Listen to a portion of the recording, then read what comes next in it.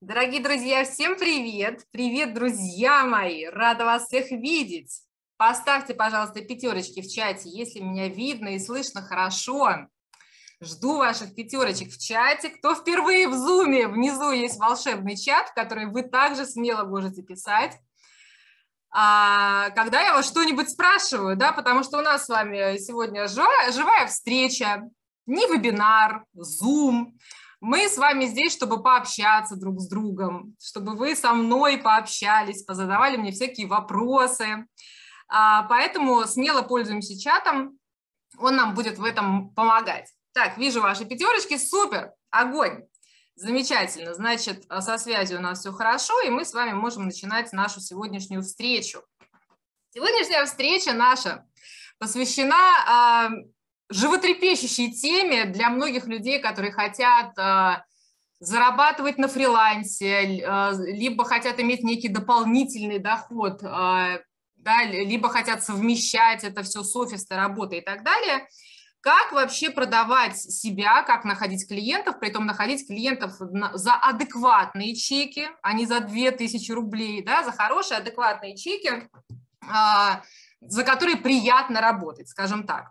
И сегодня а, я подготовила это выступление, где расскажу вам а, основные причины, Почему э, мы встречаемся с игнором от работодателей, когда мы отвечаем на всевозможные фриланс-вакансии? Я расскажу вам, как привлечь внимание своим ответом на вакансию. Я расскажу, как новичку без кейсов получить клиента. Кому это интересно, поставьте, пожалуйста, плюсики в чат. А если здесь сейчас среди нас новички, а, или здесь все уже э, ребята, которые давно работают с контекстом, ну или недавно работают с контекстом, мне а, надо понимать, да, какое у нас соотношение сегодня посетителей, кто совсем-совсем новичок и кто уже работает с контекстом. Вот кому из вас интересно узнать, как же новички без кейсов получают своих первых клиентов, поставьте, пожалуйста, плюсики. Вот мы сегодня с вами об этом поговорим. А также я расскажу вам, как продавать себя дорого, да, то есть как не работать за 5000 рублей, а работать с чеком от 20. Мы с вами на реальных примерах сегодня рассмотрим основные основные ошибки а, при ответах на вакансии, поймем, как их не допускать. И мы сегодня с вами попрактикуемся в написании ответов на вакансии, то есть тоже у нас будет с вами а, практический блог, да, потому что я не хочу, чтобы вы просто сидели, смотрели на меня как на телевизор. Я хочу, чтобы у нас сегодня с вами был такой интерактивчик, чтобы и вам было интересно, ну и мне тоже радостно. Недавно я а, проводила опрос а, среди специалистов по рекламе, задавала вопрос, ребята, какая у вас вообще, ну, самая основная сейчас проблема при работе с клиентами? И примерно 8 из 10 мне ответили, что проблема в том, что клиенты не хотят платить много денег. Клиенты почему-то хотят платить мне 5000 рублей, а я хочу 50, Лен, что делать? Вот кто из вас сталкивался с такой проблемой, напишите, пожалуйста, я с такой проблемой сталкивался. Вот давайте а, расскажите мне, да, какая у вас сейчас точка А? Вот а, какие чеки предлагают вам клиенты? Да? Либо, может быть, у вас сейчас какая-то проблема вообще в принципе, вы пишете ответы на вакансии, и у вас ничего не получается. Вот какая у вас сейчас точка А, с которой вы пришли ко мне сегодня на эту Zoom-встречу? Например, там, я отвечаю, но предлагают заказы только по 5000 рублей. Или, Лен, я там отвечаю, но мне никто вообще в ответ ничего не отвечает, что делать. Вот напишите, пожалуйста, да, в какой вы сейчас находитесь ситуации, чтобы я примерно понимала, да, как, с какими проблемами вы сталкиваетесь.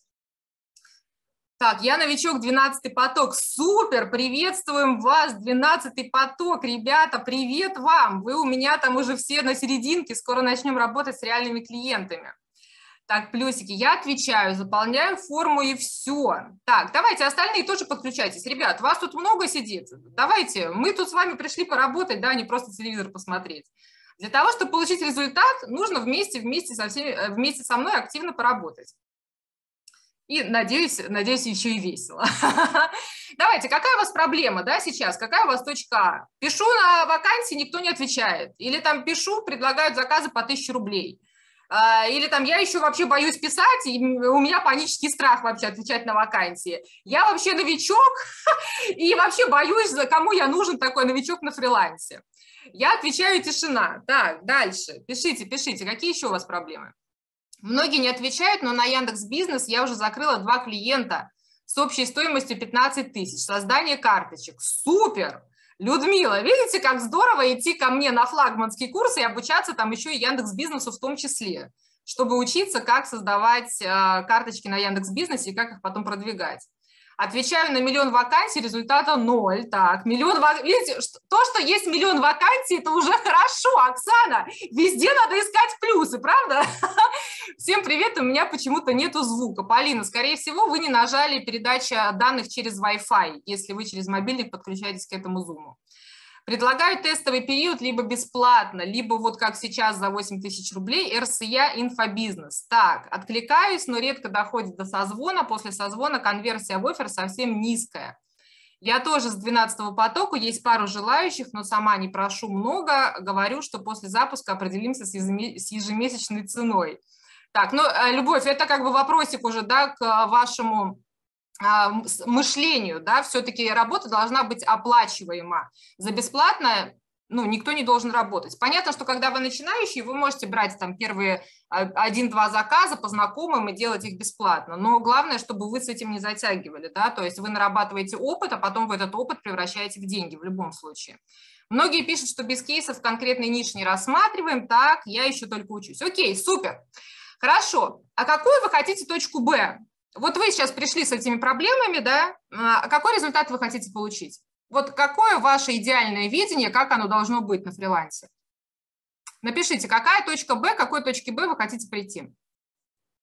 Ну, после этого зума, например, чему вы хотите научиться, да, что, как вы видите, идеальный, идеальный, э, идеальный, идеальный фриланс. Например, я пишу, и мне все отвечают.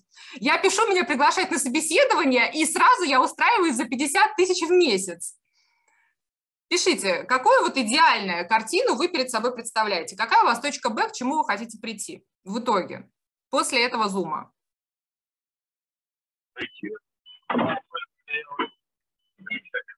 Давайте, давайте, ребята, давайте, давайте поактивнее, поактивнее, чтобы я вас долго не ждала, чтобы друг друга мы тоже не задерживали. Какая у вас точка Б? К чему вы стремитесь?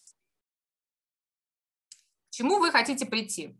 Вы же все на фриланс выходите, да, и у вас есть некая картина перед, перед глазами, что вы хотите видеть. 60 тысяч. То есть э, Сергей хочет у нас закрыть сразу клиента на 60 тысяч. Прекрасная цель, Сергей. Я хочу клиента за 20. Так, Мария поскромнее, но тоже неплохо. 50% ответов. То есть э, Людмила хочет отвечать, и чтобы 50% да, людей на нее реагировали и приглашали на собеседование. Сразу закрывать клиента от 25 тысяч. Так, взять одного-двух клиентов по 15-20 тысяч, так, найти интересный проект в будущем и закрыть его легко, взять клиента от 30 тысяч. Супер! То есть у нас с вами идеальное такое видение, да, как, а, что мы хотим взять там одного, двух, трех клиентов, и каждый, чтобы был по 20, по 30 тысяч. Прекрасно. А как вы считаете, что вам мешает добиться этой точки Б? Почему у вас сейчас не получается? Что вам мешает? Вот э, вы сейчас можете накидывать любые варианты. Я плохо говорю, я стесняюсь, я не знаю, что отвечать на собеседованиях. Я переживаю, что я новичок. Вот, любо, вот что у вас сейчас в голове? Вот как вы считаете, что вам мешает закрывать клиентов на 30, на 40, на 50 тысяч? Как вы считаете, что вам мешает? Нет опыта, а, мало опыта, неуверенность, нет опыта, так, мало опыта, незнакомая тема, не дам результат, пишу не цепляющие отклики, неумело прохожу собеседование, так, нет кейсов, мало опыта, кейсы в конкретной нише, нет кейсов в конкретной нише, 15 тысяч дорого для клиента, так, нужна практика, мало опыта в общении, мало навыков для хорошей работы. Боюсь, что не справлюсь. Угу. Значит, основные проблемы, и смотрите, у всех одно и то же. Вы все не одиноки, друзья! Поздравьте себя, вы не одиноки! У всех, видите, у всех одни и те же страхи. У меня нет опыта, страх не дать результата. Нет опыта и страх не дать результата. Ура, я не один такой неудачник. Алексей, себя нельзя называть неудачником. Вы все нарабатываете опыт в любом случае, даже если вы отвечаете и никто на вас не реагирует, вы в любом случае в этот момент вы зарабатываете опыт. Я ответил, на меня не отреагировали, значит, в следующий раз я сделаю немножко по-другому. До тех пор, пока не начнут реагировать. Вот как это делать, мы с вами сегодня разберемся. Вот, вы видите, что вы не одни такие. Это уже, видите, какая мощный бонус да, от нашей, от нашей маленькой, маленькой практики. Вы не одни такие, у всех такие страхи. И мы сейчас с вами будем разбираться, как с этими страхами бороться, да, что нет опыта, я не дам результаты и так далее. Значит, смотрите, сейчас мы с вами приступим, собственно, к вопросу, а почему так происходит, что вы отвечаете, а, и на вас никто не реагирует. Да, вот там мы видели, миллион раз пишу, и миллион раз мне никто не отвечает. Значит, все вы, кто у меня учились, все вы мои прекрасные, великолепные, потрясающие ученики, люблю вас всех нежно, целую вас в щечки. Вы все знаете, что такое классическая воронка продаж, потому что это первые уроки, которым я вас обучаю. Вы все прекрасно понимаете, что люди в интернете и вообще, в принципе, люди везде проходят некую воронку, прежде чем принять некое итоговое решение. Классическая воронка у нас выглядит как? сейчас вы видите у себя на экране. Да? Человек сначала ничего не знает, ничего не хочет, потом он начинает интересоваться какой-то темой, потом он начинает исследовать эту тему, потом выбирает, делает свой выбор и, наконец, в итоге покупает. Вы все с этим прекрасно знакомы. Напишите, пожалуйста, слово «знакомый», если вы знакомы с этой схемой. Если вдруг сейчас присутствует здесь на эфире кто-то, кто не является моим учеником, ребят, то вот, пожалуйста, вам первый урок а, моего обучения. что все у нас в интернете покупается, а мы всегда проходим какие-то этапы воронки. И когда вы отвечаете на вакансии, друзья мои, и когда вы закрываете клиента, вы тоже по факту должны провести вашего потенциального клиента через эту самую воронку. А в конце вы, как такой, знаете, пирожок, а, Э, вкусно пахнущий, да, что вы тот самый подарок, да, та самая услуга великолепная, которую в итоге клиент должен захотеть и купить. Если, а, если перекладывать эту классическую воронку на именно воронку поиска клиента, то этапы будут выглядеть следующим образом. Следующий этап – человек ничего о вас не знает и ничего от вас не хочет. То есть вы должны понимать, что люди ни черта о вас не знают. Это мы все, знаете, мы все привыкли думать, что я же такой красивый, я же такой классный, ну я же так много учился, сейчас я как отвечу, сейчас как все захотят со мной работать. На самом деле это не так, ребят. Люди ничего о вас не знают, люди обо мне многие ничего не знают. Да? Все клиенты, которых я закрывала, они ничего обо мне не знали. Это самый первый этап воронки. Дальше человек интересуется вами, но он еще ничего не готов у вас покупать, он не готов предлагать вам контракт за 50 тысяч. Ребят, ну алло, ну родовато как бы, да, рано, никто не предлагает выходить замуж на первом свидании. Дальше человек начинает исследовать, приглашает вас на собеседование, он начинает к вам приглядываться. Дальше, после собеседования, он делает выбор, и дальше человек покупает. И если мы с вами говорим о классике, да, как мы это привыкли с вами видеть, э, перекладываем это на то, что, в принципе, вам всем знакомо, первый самый шаг – это ответ на вакансию когда мы просто тупо говорим человеку, эй, я есть, я существую, посмотри на меня. Дальше мы должны заинтересовать человека, дальше человек приглашает нас на собеседование, наш потенциальный клиент. Дальше на собеседовании мы обсуждаем проект, и происходит, собственно, та-да! ради чего мы все все это затеяли, договор, подписание договора и работа с клиентом. И в чем основная ваша ошибка? всех тех людей, которые сейчас жалуются, что, божечки, люди не могут предложить мне больше пяти тысяч рублей, и вот это вот все, да, люди мне не отвечают и так далее. Вы пытаетесь себя продать на первом шаге. Вы пытаетесь продать себя в ответе на вакансию, когда человек ничего о вас не знает, ничего от вас не хочет. Вы почему-то упорно пытаетесь продать себя, сказать, что мой работа над вашим проектом будет стоить 50 тысяч рублей на первом шаге. Вот кто из вас пытался продать себя в ответе на вакансию? Напишите, пожалуйста, я такой или я такая. Кто из вас в ответе на вакансию усердно пытается себя продать? Ну, например, написать, что работа над вашим проектом будет стоить 50 тысяч рублей. Когда мы можем приступить с вами к работе? Кто из вас так делал? Напишите, пожалуйста, я так делал или я так делала. Давайте, ребят, не стесняемся, потому что все мы совершаем одни и те же ошибки на самом деле. Не переживайте, если вдруг вы считаете, что я какой-то лошара, и я делал такую ошибку. Нет, на самом деле, а, многие из вас совершают эту ошибку. Ну, давайте, пишите в чатике, пишите. А, Елена, можно я немножко влезу в разговор? Да, Рашат, привет. Кто знает Рашата, поставьте плюсики в чате. Кстати, вот вообще э, про свою ситуацию, то есть как вот у меня было, вот, э, я когда вот пришел, ну, если кто не знает, меня зовут Рашат, вот, я наставник школы у Елены, э, и я пришел не новичком, то есть у меня был уже какой-то опыт, то есть я уже занимался почти год контекстной рекламой, э, и у меня тоже была такая вот проблема, я не мог э, то есть ответить нормально на вакансию.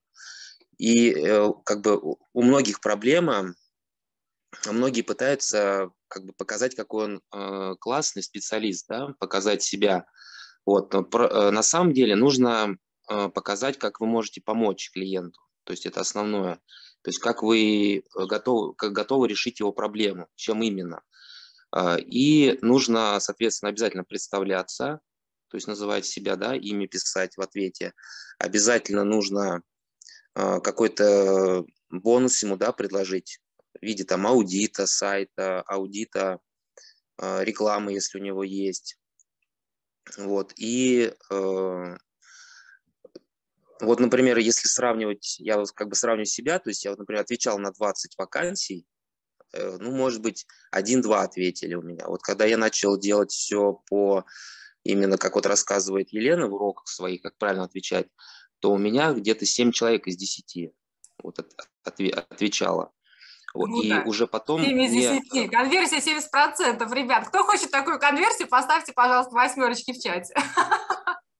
А, да, и уже как бы не я сам, а, а, то есть не они уже меня выбирали, а уже я среди них выбирал, с кем я буду работать. О, класс! Вот. вот у кого мечта, чтобы не вас выбирали, а чтобы вы выбирали клиентов? Поставьте, пожалуйста, восьмерочки в чате. Вот, поэтому, да, благодаря вот э, именно правильной вот структуре ответа, и как бы я сейчас нашел себе клиентов, и у меня прям нет сейчас необходимости э, именно в клиентах. Вот я когда сделаю оптимизацию для своих э, нынешних, то буду э, искать еще там парочку. Просто время сейчас не, э, время не позволяет заниматься. Слишком завален клиентами. Вот. Поняли, ребят? Главная правильная структура, о которой мы сегодня с вами поговорим, да? И сразу конверсия наша увеличивается. Скольки, Рашат, у тебя увеличилась? С 20% до 70%, да, ты сказал? Да, Два да. клиента отвечали, стали отвечать 8. Супер, спасибо тебе большое, что поделился своим опытом. Я думаю, что ты дал мотивацию нашим ребятам. И сегодня мы как раз рассмотрим подробно, что это за такая структура и как нужно отвечать. Спасибо большое, Рашат. А, так, значит, я тут, вы тут накидали в чате, я предлагаю бесплатность перед началом, но стоимость на FL нужно указывать. По поводу бесплатности мы сейчас тоже с вами поговорим, потому что многие из вас ее предлагают, но делают это неправильно. А по поводу указания стоимости на бирже фриланса, безусловно, фриланс просит от вас указывать стоимость, да, и а, вы ее прописываете, но а, вы должны понимать, что эта стоимость, ну, как бы клиенты понимают, что это не окончательная цифра, также вы можете и в тексте ответа писать, что условия работы мы должны будем обсудить с вами при личной, при личной беседе. То есть то, что вы должны указывать, да, безусловно, на биржах фриланса, да, но вы должны понимать, что то, что вы сегодня узнаете, это не только про ответы на биржах фриланса, это в принципе про ответы и на бирже фриланса, и на HeadHunter, если просто вы напрямую будете с клиентом, клиенту писать, например, да, увидели неправильно настроенную рекламу и давай ему писать. Вот как правильно писать, мы сегодня с вами как раз-таки поговорим. Так, знаем, привет, Рашат, все супер. А, заканчиваю отклик, давайте созвонимся, за 15-20 минут познакомимся и обсудим задачи. Вам удобно, след фидбэк получаю, наверное, в 30% случаев. Так, я такая, 8888, это круто, так, это круто. Я тоже после просмотра уроков «Как отвечать на вакансии» стараюсь отвечать, как учит Елена. Пока не очень получается, но обратная связь есть, и это радует. Нужно тренироваться. Почему не получается, мы сегодня как раз с вами поговорим. Итак, значит, основная проблема, которую мы выяснили, это то, что при ответе на вакансию вы пытаетесь сразу продать договор с вами, а вы понимаете, что э, переступив шаги воронки, перескочив их, невозможно сделать продажу. То есть вы в любом случае должны идти а, по этой ступеньке плавно. То есть вы должны э, каждым касанием с потенциальным клиентом продавать каждый следующий шаг. То есть ваша великая, потрясающая глобальная ошибка, когда вы пытаетесь в первом шаге, отвечая на вакансию, продать с собой контракт тысяч так на 50, да, примерно у вас такое представление. Я ему напишу, и он сразу согласится со мной работать за 50 тысяч. На самом деле это не так. А, вы должны четко понимать, прям запишите себе, пожалуйста, это правило, чтобы оно висело у вас прям перед столом рабочим. Каждое касание с потенциальным клиентом должно продавать каждый следующий шаг. То есть ответ на вакансию должен продать заинтересованность в дальнейшем общении с вами. Дальше, вы когда заинтересовываете, вы продаете идею а, прийти к вам а, с вами на собеседование. Дальше на собеседовании вы начинаете уже обсуждать проект, и только в этот момент вы продаете себя дорого, потому что во время как раз-таки собеседования вы, когда рассказываете, какой вы прекрасный, вот здесь надо рассказывать, какой вы прекрасный и как вы можете помочь клиенту, только в этот момент, собственно, и происходит закрытие клиента дорого. Все мои контракты на 100 тысяч, я, кстати, вам сегодня расскажу, как я проходила собеседование там с израильскими клиниками, с Канадой, с американским агентством. Кому это интересно, поставьте, пожалуйста, десяточки в чате. Я вам расскажу. Так вот, вся эта продажа, она происходила, друзья мои, только лишь во время собеседования, ни в коем случае не до. Ну как, вот я вижу, вижу, как вам это интересно. Итак. А можно еще, еще добавить? Да, Рашат. да. да, вот э, по поводу э, тех, кто говорит, что э, многие говорят, что нужен кейс обязательно ага. при ответе. Вот я так могу сказать, что первых, первых даже трех клиентов я вот нашел, а, то есть меня никто кейс не спрашивал. И, в принципе, многие сейчас не спрашивают кейсы.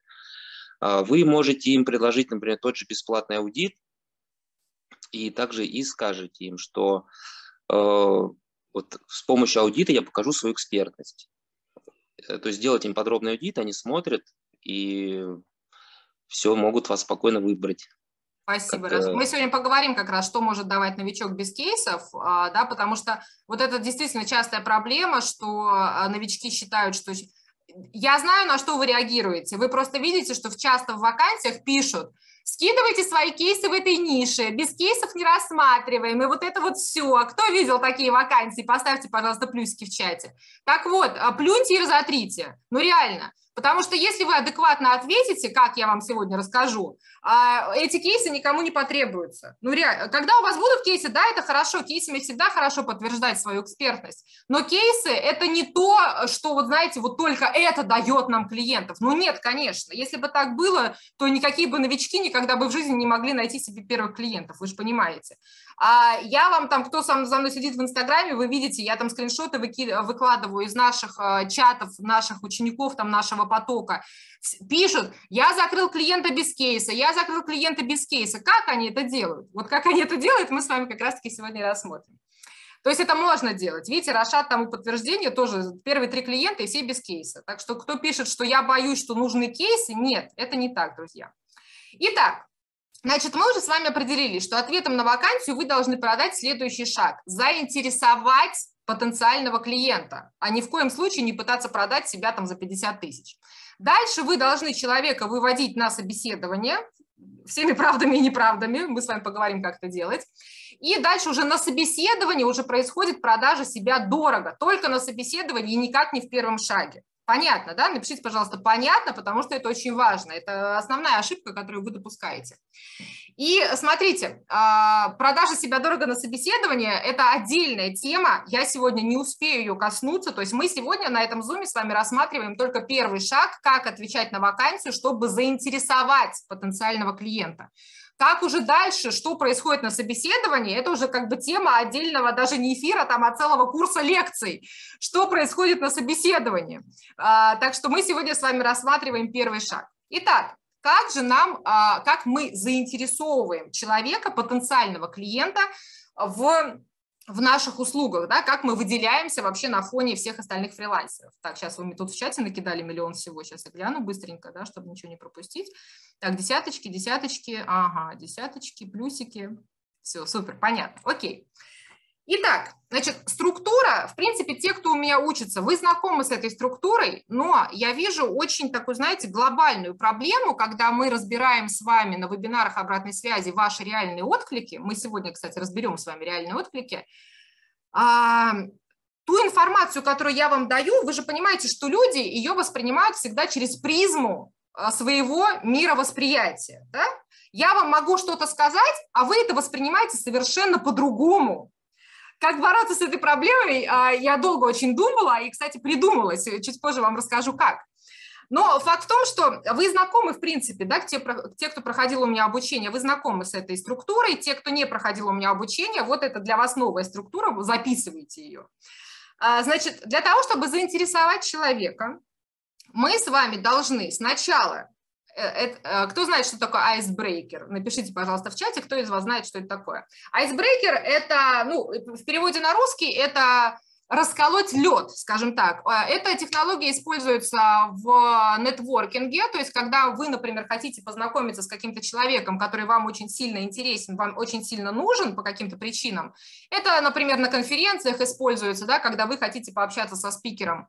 А, используется icebreaker, то есть это некая фраза, которая призвана растопить лед. То есть по-русски говоря, это э, растопщик, э, э, ломаем лед.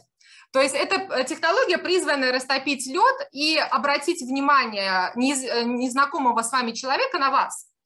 Дальше мы должны с вами ответить на поставленный вопрос, в вакансии, тот вопрос, который в вакансии пишет потенциальный работодатель. Дальше мы показываем серьезность нашей, наших намерений, то, что мы не просто мимо проходили и шаблоном ответили, да, а то, что мы реально заинтересованы в этом клиенте. Для этого мы отправляем некую бесплатную суперполезность. Мы сейчас поговорим, что это такое.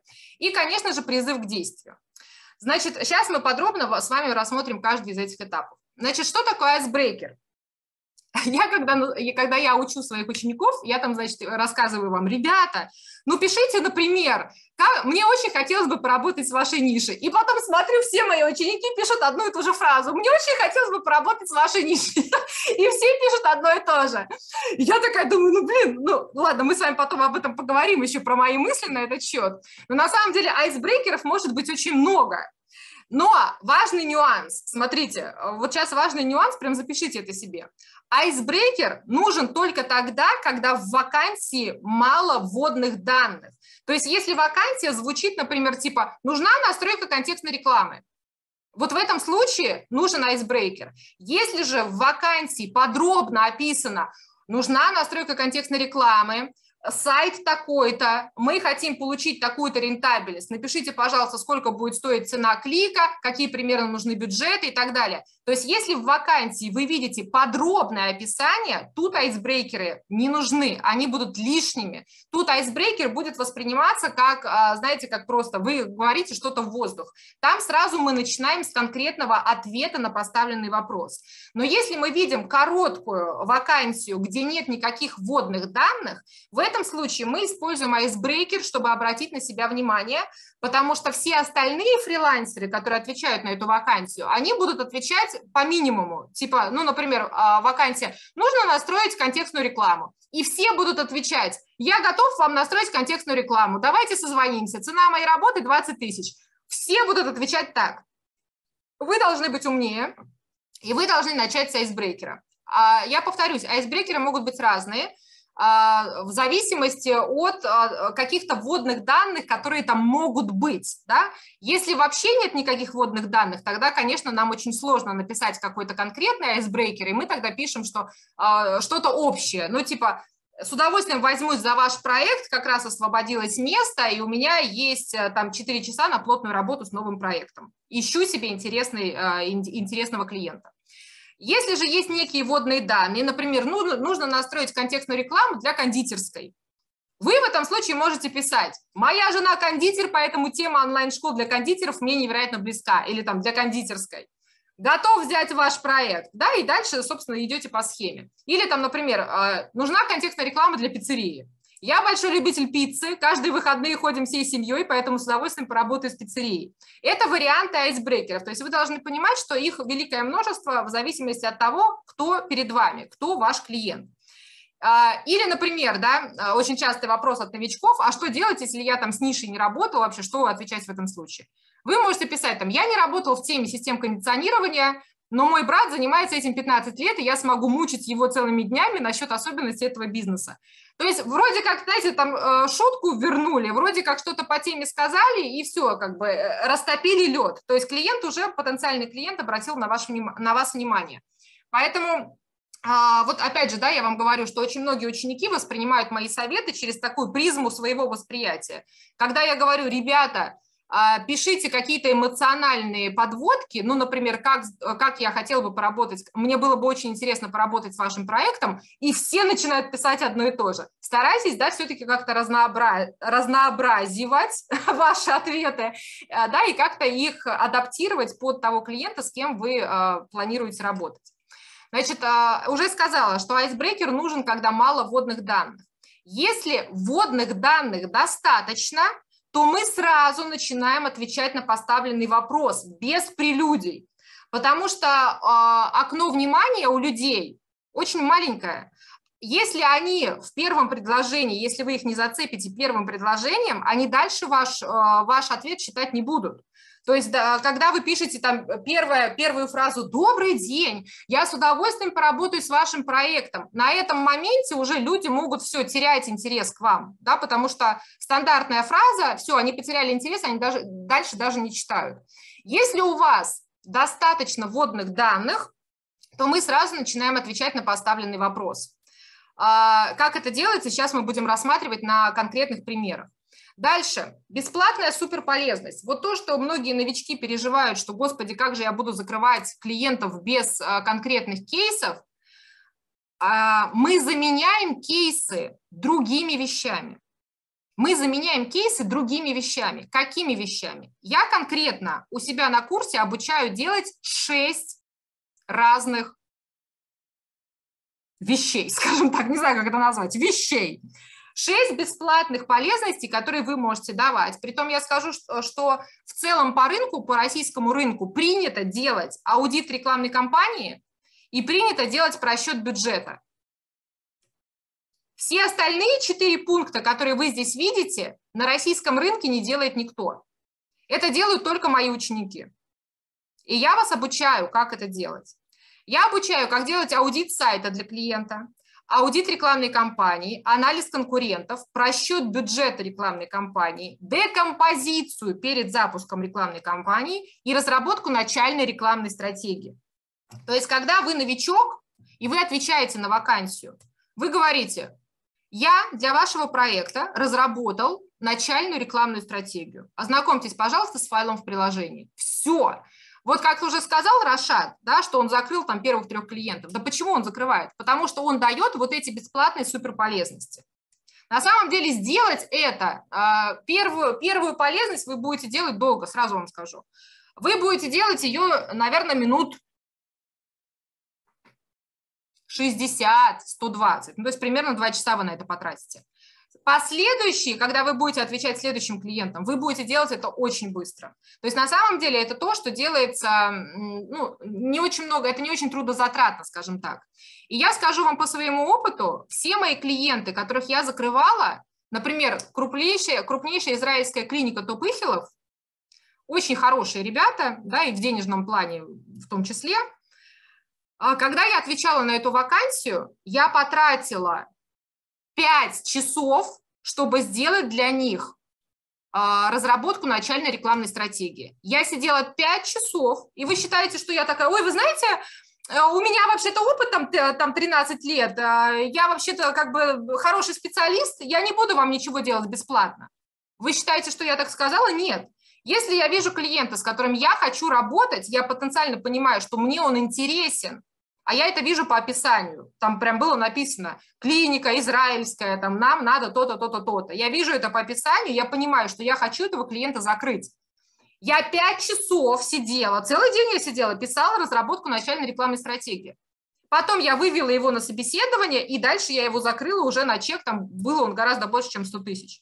То есть вот так это делается. Поэтому, когда вы, э, когда вы там спрашиваете, Лена, а вот долго писать, там, а, бесплатные какие-то штуки, долго это делается. Но вы поймите, что, а, что для клиентов, которые вам, а, ну, типа, интересны или не интересны, ну, типа, вы сами не понимаете, интересно или нет, вы можете делать эти аудиты довольно быстро, ну, там, минут 15 на это тратить.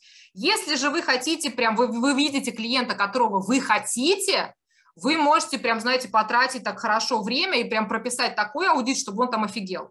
Как это делается, мы с вами поговорим. И в конце, и в конце а, мы, конечно же, а, заканчиваем призывом к действию. И опять же, сейчас я вам на, реальных примерах покажу, что вы многие воспринимаете мои а, фразы через призму своего восприятия. Вы сейчас поймете, о чем я говорю и в чем вы потом ошибаетесь. Но вы в любом случае должны все свои ответы на вакансии заканчивать призывом к действию. Например, Предлагаю созвониться и обсудить детали вашего проекта. Так будет гораздо быстрее. Если выберете меня исполнителем, сможем обменяться контактами. Это конкретно для биржи фриланса, да, потому что вы не можете там обмениваться контактами, пока вы не стали исполнителем по какому-то проекту. Итак, сейчас мы с вами разберем реальные ответы и как раз-таки посмотрим, как в реальные ответы встраивается вот эта структура, которую я вам рассказала сейчас. Так, сейчас я вам открою файлик. Лен, приветствую. Можно пару Да, слов? Антон, привет, привет, привет. А, вот как раз хотел... А, У меня сегодня день наставника. Кто знает Антона, поставьте плюсики в чате. Да, да, кто не знает меня, меня зовут Антон, я наставник в школе Елены. А, кто еще не успел к нам прийти учиться, обязательно приходите, будет весело. Кто уже успел прийти, тогда всем привет. А, вот хотел подтвердить твои слова касательно того, что бесплатные полезности – это очень круто. И это действительно, на самом деле, классная вещь. Я до сих пор помню одного из своих первых клиентов, которому как раз-таки проводил начальный аудит рекламной кампании. И помню очень хорошо реакцию клиента, когда я ему направил этот аудит. Он его прочитал, и там было буквально два предложения. Офигеть, давайте начинать работать. И скажу, что практически все клиенты, с которыми я делал бесплатный аудит, практически со всеми мне удалось э, заключить дальнейшее сотрудничество и начать работать. Супер, класс, спасибо, что рассказала о своем опыте, потому что многие новички считают, ну вот, я сейчас буду время тратить, вот я сейчас буду сидеть, а этот клиент мне потом не ответит. На самом деле, если делаешь классный аудит, то там 80% что ты этого клиента закрываешь. Да, да, это действительно так, потому что клиент сразу наглядно видит, какие есть плюсы, какие минусы в рекламе, сразу понимает то, что мы разбираемся в этом, раз мы на это указываем, предлагаем какие-то рекомендации. И, соответственно, там уже просто, скажем так, немножко где-то улыбнуться, где-то скажем так, какие-то приятные слова сказать и что-то пообещать, рекомендации дать, и уже процесс начинает идти, уже диалог выстраивается. Ну ладно, шаблон аудита это ты брал у нас в обучении, у меня? Конечно, конечно. Все я шаблоны так, аудитов я даю себя в обучении. Я составлял свои первые аудиты, конечно. Все шаблоны я, конечно, даю, и на основе этих шаблонов а, все, собственно, ребята мои делают эти прекрасные ответы, прекрасные аудиты, и потом закрывают своих клиентов. Поэтому, если вы переживаете, что там я новичок без кейсов, не надо переживать, э, все закрывается с помощью вот этих бесплатных полезняшек. Итак, давайте же теперь посмотрим с вами конкретные вакансии, да, как на них отреагировать. Это, это реальные, это вот то, с чем ко мне приходили мои ученики на разбор. Я убрала тут все фамилии, да, чтобы никто там не обижался или еще что-то. Все фамилии убрала, все совершенно анонимно. А, это реальные ответы, как отвечают на вакансии. А, и мы разберем, где сделаны были ошибки и как надо было ответить. Значит, смотрите. Текст вакансии. Необходимо протестировать директ в тематике дизельных форсунок. Необходимо протестировать контекстную рекламу, понять цену клика и выгоду. Сайт, дается сайт.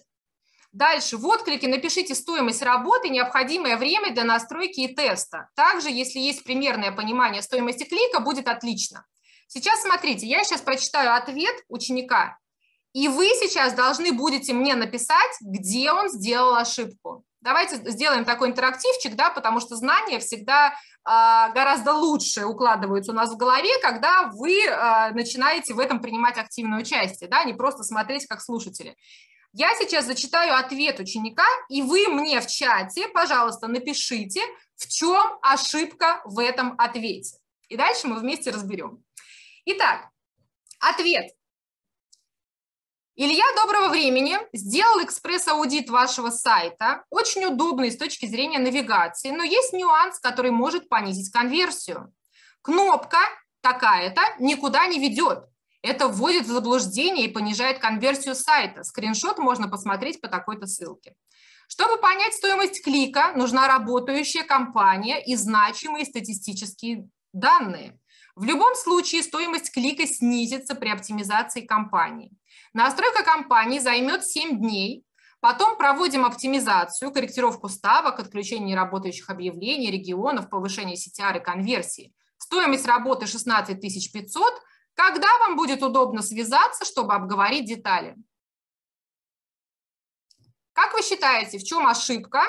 Какую ошибку допустил ученик, отвечая на вакансию? Пишите, пожалуйста, ваши, э, ваше мнение в чате. Тут нет правильного или неправильного ответа, не бойтесь дать неправильный ответ.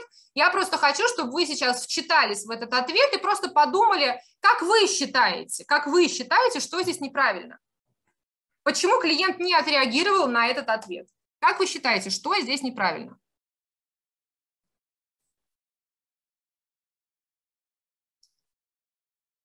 А, так.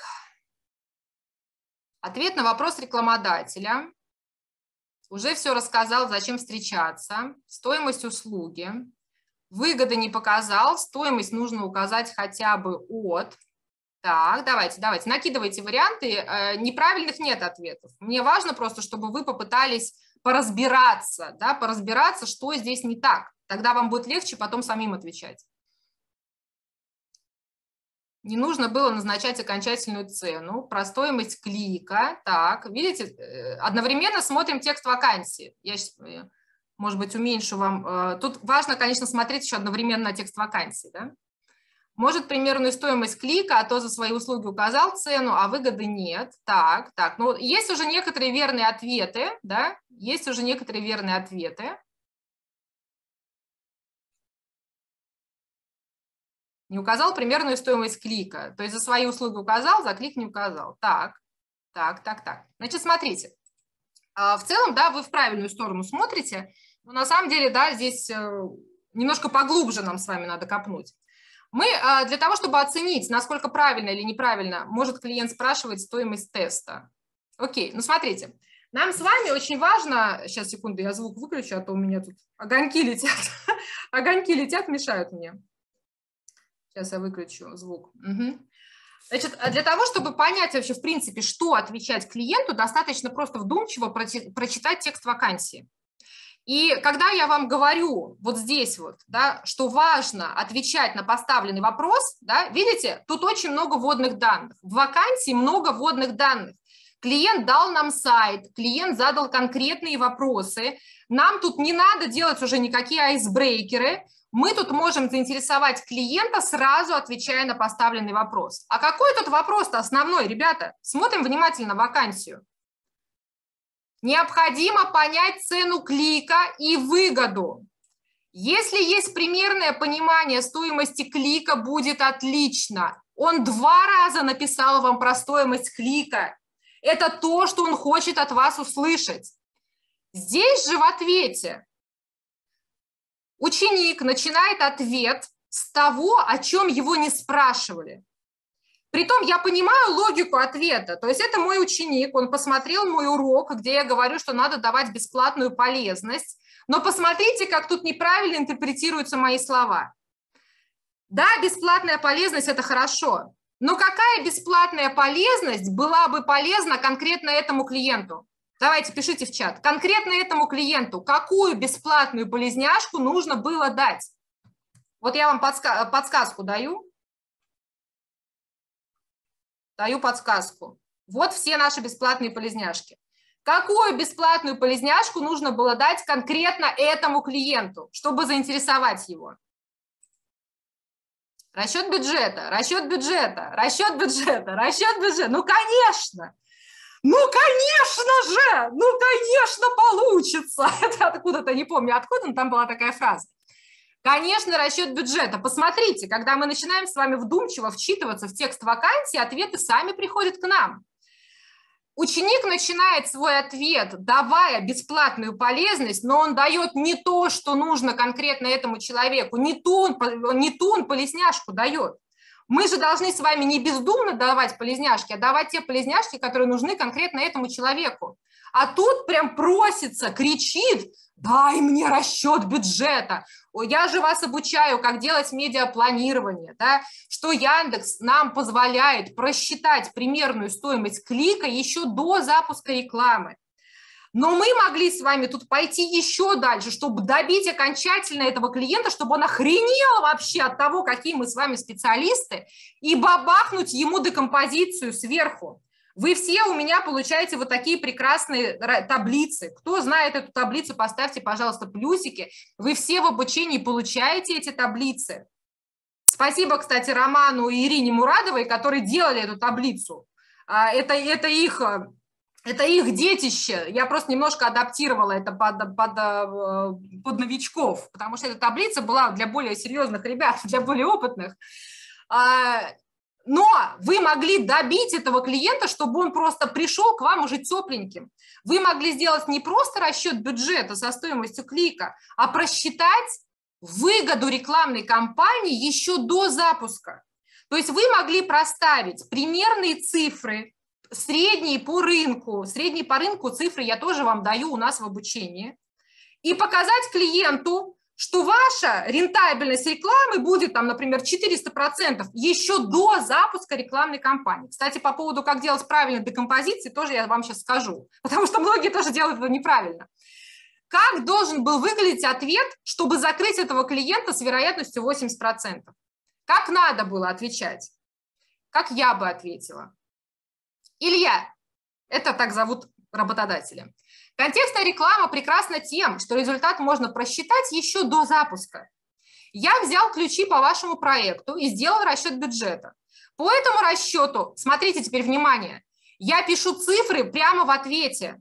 Я не говорю клиенту, иди и посмотри файлик, потому что клиент может и не пойти. Если вы не заинтересовали его, его в ответе, он ваши файлы смотреть не будет.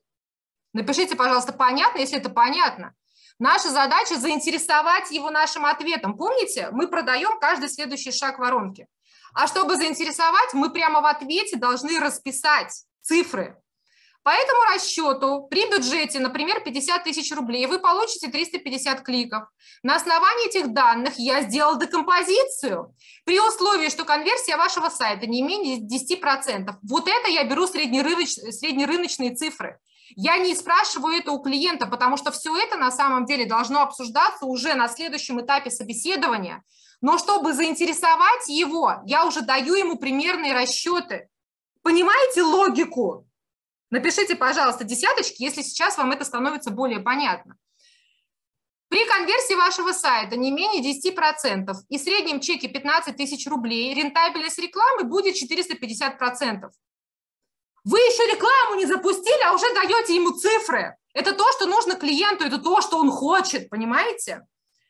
И вы говорите, все расчеты вы можете посмотреть в таблицах, там есть и стоимость клика, таблицы я вам прикладываю. И вот когда он это прочитает, он уже побежит открывать ваши таблицы, он уже понесется галопом, чтобы открыть ваши таблицы. Понятная идея?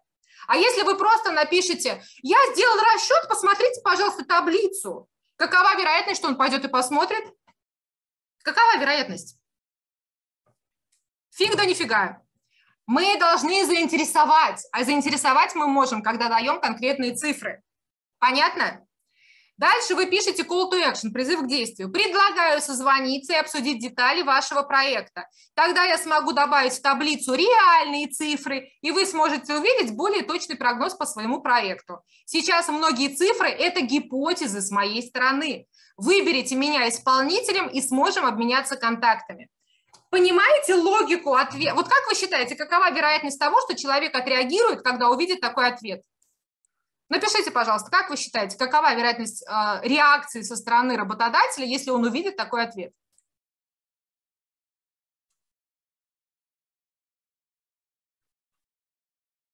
Девяносто процентов, девяносто процентов, сто процентов, да. То есть понимаете, да, понимаете разницу в ответах. Дальше рассматриваем следующие примеры. А, текст вакансии. Нужно сделать единоразовую настройку контекстной рекламы в Яндексе. Очень мало вводных данных, практически нет. Вот ответ ученика. Артем, доброго времени. Дайте, пожалуйста, ссылку на сайт «Сделаю бесплатный аудит». Просто настроить и запустить или настроить, запустить и оптимизировать? Я готов. Когда мы сможем созвониться, чтобы пообщаться более детально? Что вы видите в этом ответе? Отреагировали ли вы, э, отреагировали бы вы на такой, на такой ответ со стороны фрилансера? Что вы здесь видите? Смотрите, я как бы, да, чтобы, чтобы долго не ждать ваших ответов, я уже буду сама да, говорить. Во-первых, как я это воспринимаю и как это воспринимают работодатели. А, отдайте, пожалуйста, ссылку на сайт, сделаю бесплатный аудит. Зачем? Смотрите, вот тут ученик отвечает по моей схеме. Он пытает... А, так, вы меня видите, слышите, а то у меня сейчас уведомление, что мое интернет-соединение неустойчиво. Вы не нормально, не подвисаю я, все хорошо? Напишите, пожалуйста, хорошо, если все хорошо. Норм, норм, видим. Окей, супер. Смотрите, здесь ученик идет по моей схеме, дать бесплатную полезность, да? Но посмотрите, насколько неправильно это сделано. Если вы хотите что-то дать, вы должны сразу дать, а не спрашивать, давайте я вам ее дам. И посмотрите, если вы что-то предлагаете, вы должны дать причину, ну то есть выгоду клиенту, а зачем ему это надо. Смотрите, дайте ссылку, сделаю бесплатный аудит. У меня сразу вопрос, а зачем? Что мне с твоего бесплатного аудита? И теперь сравните. Дайте, пожалуйста, ссылку на ваш сайт, я сделаю бесплатный аудит вашей рекламной кампании и распишу вам основные ошибки в вашей рекламной кампании, где вы сливаете рекламные бюджеты. Понятна разница? Я сказала, что вы сливаете ваши рекламные бюджеты, я сделаю аудит, и вы поймете, где вы их сливаете. А не просто я сделаю бесплатный аудит ради бесплатного аудита клиент должен четко понимать, какую выгоду будет нести ваш бесплатный аудит, ваш, ваш бесплатный расчет, ваше бесплатное там что-то. Клиенту что с этого? Вы должны это описывать, клиенты этого не понимают. Если вы считаете, что клиенты понимают, зачем вы это делаете, они не понимают, ребята, открываю вам глаза, не понимают они. Вы должны писать, зачем вы делаете аудит. Я покажу вам, где вы сливаете деньги. Напишите, пожалуйста, плюсики, если это вам теперь становится более понятно и очевидно. Дальше. Просто настроить и запустить или настроить, запустить и оптимизировать? Значит, смотрите, а, вы, кто у меня учится, вы прекрасно знаете, что рекламную кампанию запустить – это всего лишь полдела. Основная работа начинается после запуска. Когда мы начинаем видеть реальную статистику, когда мы начинаем видеть реальные цифры, мы обязаны оптимизировать рекламу. Мы не имеем морального права настраивать рекламу и дальше говорить, я настроил, до свидания. Вот так нельзя делать. Если вы берете клиента, вы обязаны вести его месяц, и вы это должны проговаривать. Вы должны это проговорить, что настройка рекламы без дальнейшего, как минимум, месячного сопровождения не имеет смысла. И вы это должны говорить клиенту, потому что клиенты этого не знают. Они этого не понимают. Они считают, что что-то ты там настроил, и оно дальше после этого 100-500 лет само по себе работает. Это не так, и вы должны об этом говорить. И теперь смотрите формулировка. И тут опять же ученик все делает, как вроде бы я учу. Я говорю, делайте призыв к действию, но посмотрите, какой призыв к действию, как он выглядит. Когда мы сможем созвониться, чтобы пообщаться более детально? Как, в каких случаях мы говорим такую фразу? Эта фраза говорится, когда у вас уже есть одобрение со стороны клиента, что да, я готов с вами работать. Ну типа, ну что, работаем, работаем, ударили по рукам, и вы говорите, когда можем созвониться, когда вам удобнее. А когда вы говорите это клиенту, который про вас ни черта не знает, вы первый раз ему пишете, он вообще не знает, кто вы, и вы ему говорите, ну что там, когда будем созваниваться, когда можем созвониться, вы понимаете, насколько это нелогично, насколько эта фраза нелогична, когда вы пишете ее человеку, который не дал вам своего принципиального согласия на работу совместную. И посмотрите, как по-разному вы воспринимаете то, что я вам говорю. Вы это все воспринимаете через свою призму. Я вам говорю, делайте призывы к действию. Мои призывы к действию как звучат? Предлагаю созвониться и обсудить детали проекта. То есть я предлагаю это. А у вас это трансформируется в том, как вы это воспринимаете, во фразу «когда мы можем созвониться, чтобы пообщаться детально». Вы понимаете эту разницу? Напишите, пожалуйста, понимаю, если вы, понимаю, если вы понимаете, либо напишите не понимаю, если вы пока ее не особо ярко видите. Просто на самом деле вот эти вот тонкие моменты, тонкие нюансы написания, буквально одно слово, и ваша фраза уже по-другому воспринимается. Буквально одна деталь, и все, и ваша фраза совершенно по-другому звучит. Понимаю, понятно, понятно, понятно. Супер. Теперь, а, как я бы ответила на эту вакансию? Вот у нас вакансия, нужно сделать единоразовую настройку контекстной рекламы в Яндексе. Что я бы написала? Я бы написала, Артем, добрый день. Я не рекомендую делать именно единоразовую настройку, так как контекстную рекламу необходимо оптимизировать минимум месяц, чтобы она не тратила ваш рекламный бюджет впустую. Делается это на полученной статистике, Поэтому сделать полную оптимизацию до запуска рекламы невозможно. То есть, видите, я описываю, почему нельзя запустить и забыть. Я рассказываю об этом клиенту в одном абзаце, коротком. Дальше я пишу, в настройку всегда должна входить оптимизация, минимум месяц. Уточните, пожалуйста, что у вас за проект. Видите, уже призыв к действию идет. Уточните, пожалуйста, что у вас за проект я тогда смогу вам сказать стоимость настройки и оптимизации в течение месяца. Понятна разница? На какой, на какой ответ заказчик с большей вероятностью отреагирует? Вот на этот или на этот? На мой или на ответ ученика? Пишите в чате. Пишите в чате, на какой ответ э, человек с большей вероятностью отреагирует. На мой или на ответ ученика. Давайте, давайте, пишем, пишем, пишем, пишем, пишем. На последнее, на Елену, да. И давайте еще одну посмотрим. А, аудит рекламной кампании на нишу детские игрушки. Да, как отвечать здесь, потому что здесь тоже довольно мало вводных данных. А, как ответил ученик, готов сделать аудит, нужен доступ к рекламному кабинету. Когда сможете предоставить, бонусом сделаю бесплатный аудит сайта на предмет повышения конверсии. Значит, опять же, да, большая ошибка а вот это вот э, с наездом, когда сможете предоставить, да, вот так вообще нельзя писать в принципе. И вообще, когда, смотрите, когда просят э, предоставить аудиты, для новичков это очень сложные вакансии, я на самом деле не рекомендую вам на них отвечать, честно говоря, а, потому что вряд ли вы выделитесь на фоне, а, выделитесь на фоне людей, которые, а, которые более опытные, потому что как надо отвечать на такую вакансию?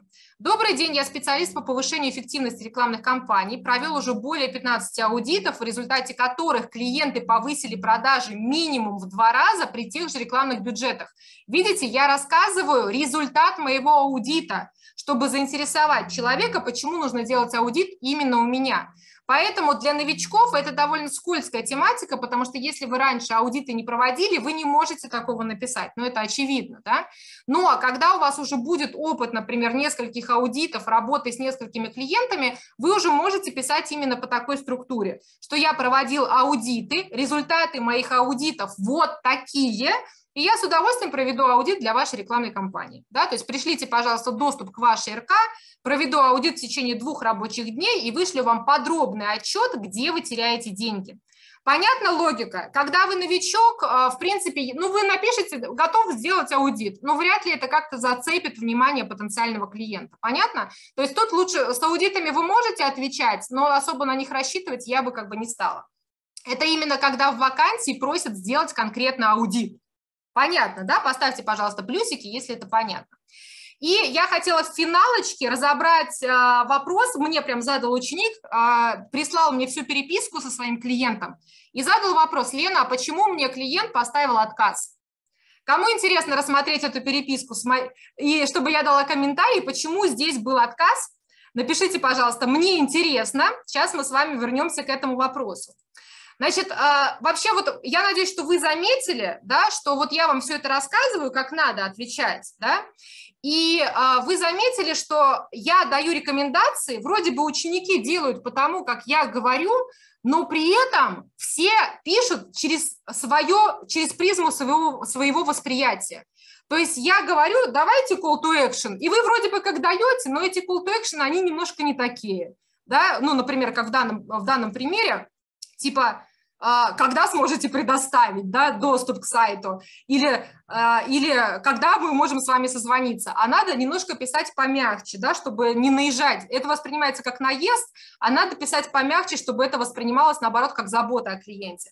То есть вы все равно пишете через какую-то призму своего восприятия, и вы вроде бы все делаете, как я вам говорю, а не получается. А почему не получается? Потому что вы пишете своими фразами, то, как вы это воспринимаете, то, как вы это понимаете. И именно поэтому у нас происходят вот эти вот истории, что вы вроде бы пишете, а реакции никакой нет.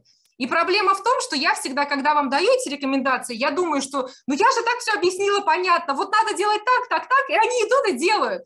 Я, я вас учу, как будто бы если бы вы мыслили как я, но оказалось, что вы это не я как бы оказывается, что вы не можете мыслить, как я. У вас нет такого бэкграунда, как у меня. У вас другой опыт, не такой, как у меня, да. У вас э, своя какая-то до этого была жизнь, не такая, как у меня. Соответственно, вы по-другому формулиру, формулируете фразы, вы по-другому пишете, вы с другой интонацией пишете ответы. И поэтому вот получаются такие проблемы. А вот у кого после моих эфиров, вот мои ученики, которые приходят ко мне на разборы, да, в рамках обучения, у кого из вас было такое ощущение, когда я разбираю ваши ответы на вакансии, говорю, как надо говорить, и вы про себя думаете, ну вот я так не смогу сказать, или я так не смогу написать. Вот у кого из вас есть такое ощущение? Напишите у меня. Вот кто из вас вот слушает меня, слушает, смотрит, как надо отвечать, и такой думает, я так не смогу. Вот у кого есть такое ощущение? У меня, у меня, у меня, у меня. у меня, у меня, у меня. Вот. И вы знаете, и я, я понимаю эту проблему. Я два года уже обучаю. Два года ко мне приходят ученики, да, и мне очень хочется сделать так, чтобы процент ваших закрытий был выше, чтобы вы с 80% успехом закрывали этих клиентов. То есть я понимаю, что я вам даю какие-то основы, да, как я это делаю, но не хватает вот этого элемента, что вы это не я, и вы все равно по-другому отвечаете, вы все равно отвечаете не так, как я. Я такая думаю, череплю, что же делать? Как ребятам помочь? Как выгрузить вот свою голову и положить в вашу голову, да, чтобы вы отвечали ровно так же?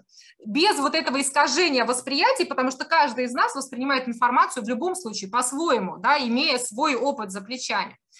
Я думала, думала, я придумала, ребята. Я считаю, что я придумала очередную гениальную идею, просто у меня других идей не бывает, я просто гребаный гений, вы это знаете. Короче, я решила, я честно вам скажу, что я решила это делать на VIP-тарифе, на своем наставничестве.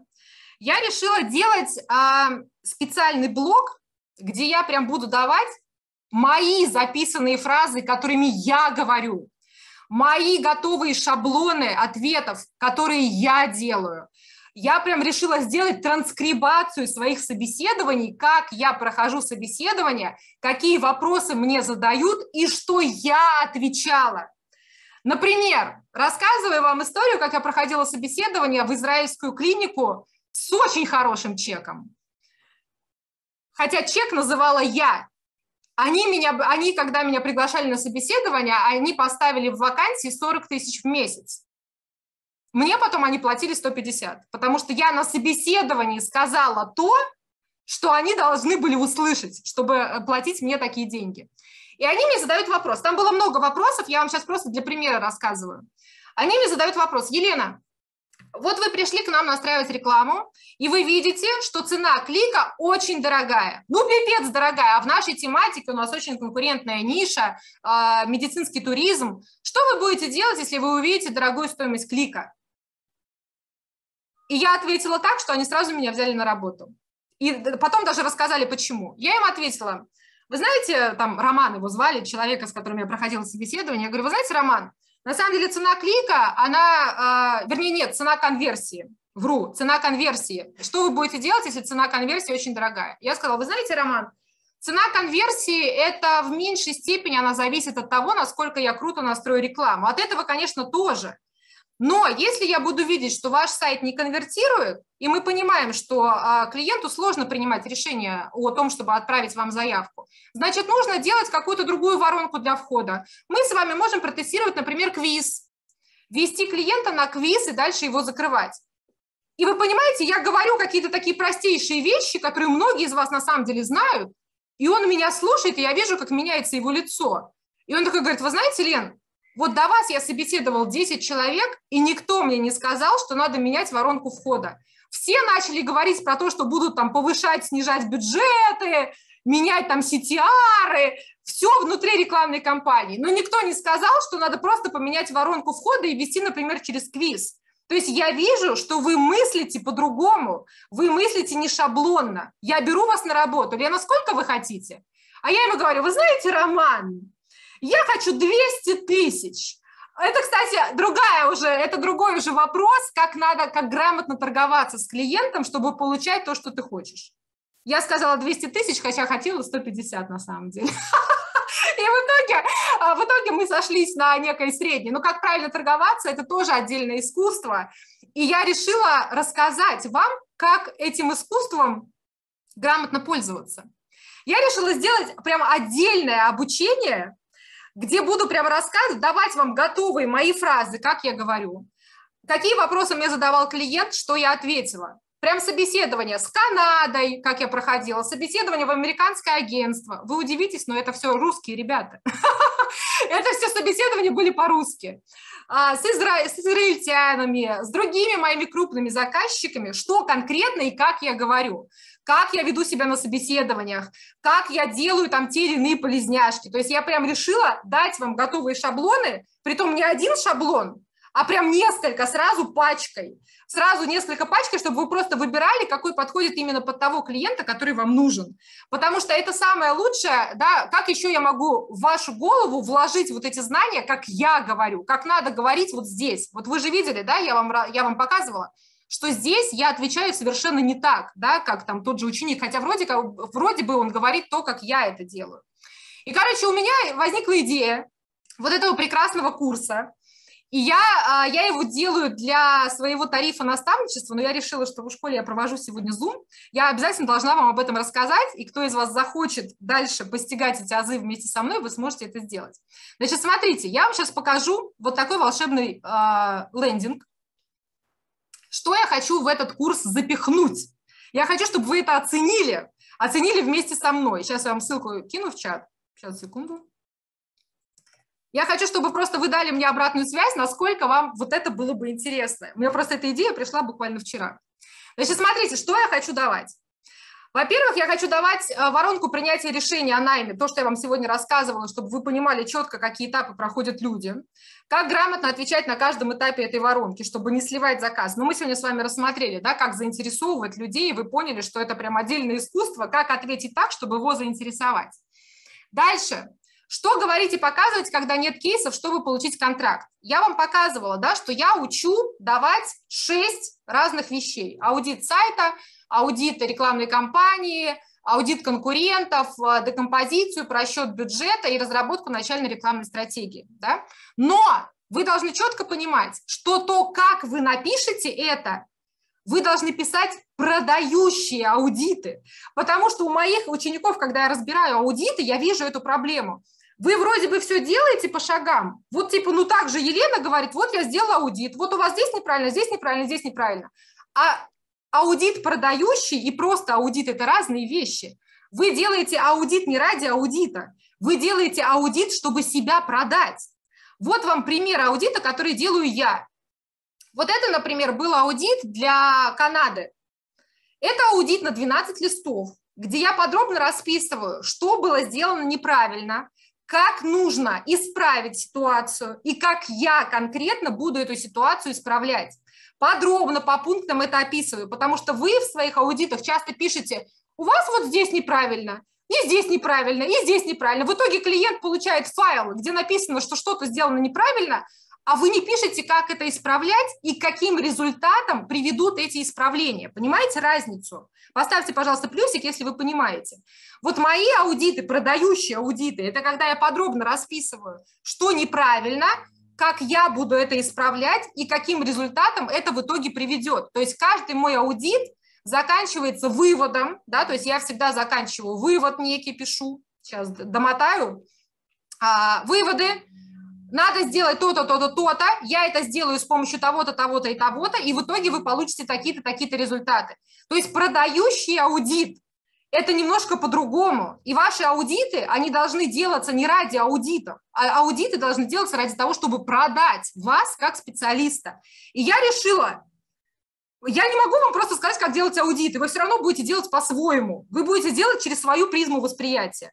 Я решила сделать проще. Я решила дать вам 10 шаблонов аудитов под разные, под разные направления, под разных клиентов, дать вам эти аудиты. Вы просто в итоге подставите те там скриншоты, которые вы увидите в рекламных кампаниях этих клиентов, и все. То есть текст будет уже готов. И вы таким образом будете уже а, иметь нормальный, адекватный продающий аудит, который будет закрывать вас как клиентов. А, ну, вернее, как исполнителей вашим клиентам. То же самое касается аудита сайта. Как делать аудит сайта? Не просто аудит ради аудита, а как сделать аудит сайта так, чтобы он вас продавал. То есть на вашем сайте нужно, нужно подредактировать то-то, то-то, то-то, тогда мы сможем рекламную кампанию запустить вот на вот эти разделы, рентабельность будет такая-то. Понимаете разницу да, между продающим аудитом и просто аудитом ради аудита? Я почему и говорю, что я свои аудиты пишу по 5 часов. Потому что мой аудит я пишу, чтобы продать себя. И я сэкономлю ваше время, я просто за вас сделаю ваши аудиты, и вам останется только подставить нужные скриншоты и немножко подредактировать, под какого клиента вы это пишете. Все. Я прям хочу дать вам, знаете, такие готовые шпаргалки, там 10 аудитов сайтов, 10 аудитов кейсов под разные ниши, 10 аудит, аудитов рекламных кампаний. Дальше 10, 10 аудитов там рекламных кампаний, 10 анализов конкурентов. Когда я говорю, ребята, делаем анализ конкурентов. У меня даже есть урок у нас в обучении, вот я вам прям покажу, да. У нас есть с вами урок, а, как общаться с клиентами, как проводить, как делать анализ конкурентов, да. И я вам рассказываю, как, а потом смотрю, как вы делаете эти анализы, я понимаю, что вы делаете анализ ради анализов. Вы не делаете продающий вас анализ конкурентов. То есть как надо делать? А, вы показываете скриншоты конкурентов, показываете недочеты. Вот здесь неправильно они сделали то-то, здесь они неправильно сделали то-то. Я бы сделал вот так, вот так, вот так. И за счет этого мы с вами получим вот такие результаты. То есть надо всегда описывать, к каким результатам вы придете. Я прям хочу дать вам эти готовые шаблоны, чтобы вы просто могли взять, подставить, подставить содержимое там вашего клиента, и все, и вам даже думать не надо. Дальше я хочу дать вам готовые варианты айсбрейкеров под разных клиентов, чтобы не вы выдумывали айсбрейкеры, потому что я вижу, что а, ваши айсбрейкеры – это типа я с удовольствием поработаю с вашей рекламой, на этом все и заканчивается. Я хочу дать вам готовые прям айсбрейкеры, чтобы все взяли, выбрали, какой вам подходит под клиента, и его использовали. А дальше. Медиапланы. Да, я вас учу делать медиапланы. Но каждый раз, когда ко мне приходят ученики и говорят, я вот отправил клиенту медиаплан, но почему-то клиент мне ничего не ответил. Я говорю, ну покажи мне свой медиаплан. А там медиаплан, расчет бюджета на миллион. Сколько, э, как, какой планируется бюджет рекламной кампании? Миллион! И нормально, и вы отправляете такие медиапланы, и вы считаете, что клиент закроется, вы должны понимать, что медиаплан делается не для того, чтобы сделать медиаплан. Итоговый медиаплан делается после собеседования. Вы поймите это, когда вы уже с клиентом обсуждаете детали, когда он уже стал вашим клиентом, вы можете сделать корректировку в медиаплане. Но для того, чтобы закрыть клиента на собеседование, вы должны ему показать медиаплан, который клиента устроит. Вы понимаете эту разницу? Напишите, пожалуйста, понимаю, если вы ее понимаете. Если вы отправите клиенту медиаплан, что э, ваша рекламная кампания будет стоить миллион, он такой, а, спасибо, до свидания, всего, всего хорошего.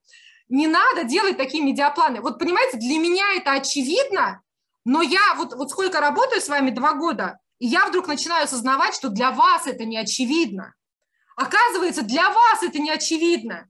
И я начинаю понимать, что мне за вас надо сделать эти медиапланы. Мне за вас это надо посчитать и просто в рот вам это положить, потому что иначе вы отправляете медиапланы по 2-3 по миллиона клиентам, а потом удивляетесь, почему он не закрывается.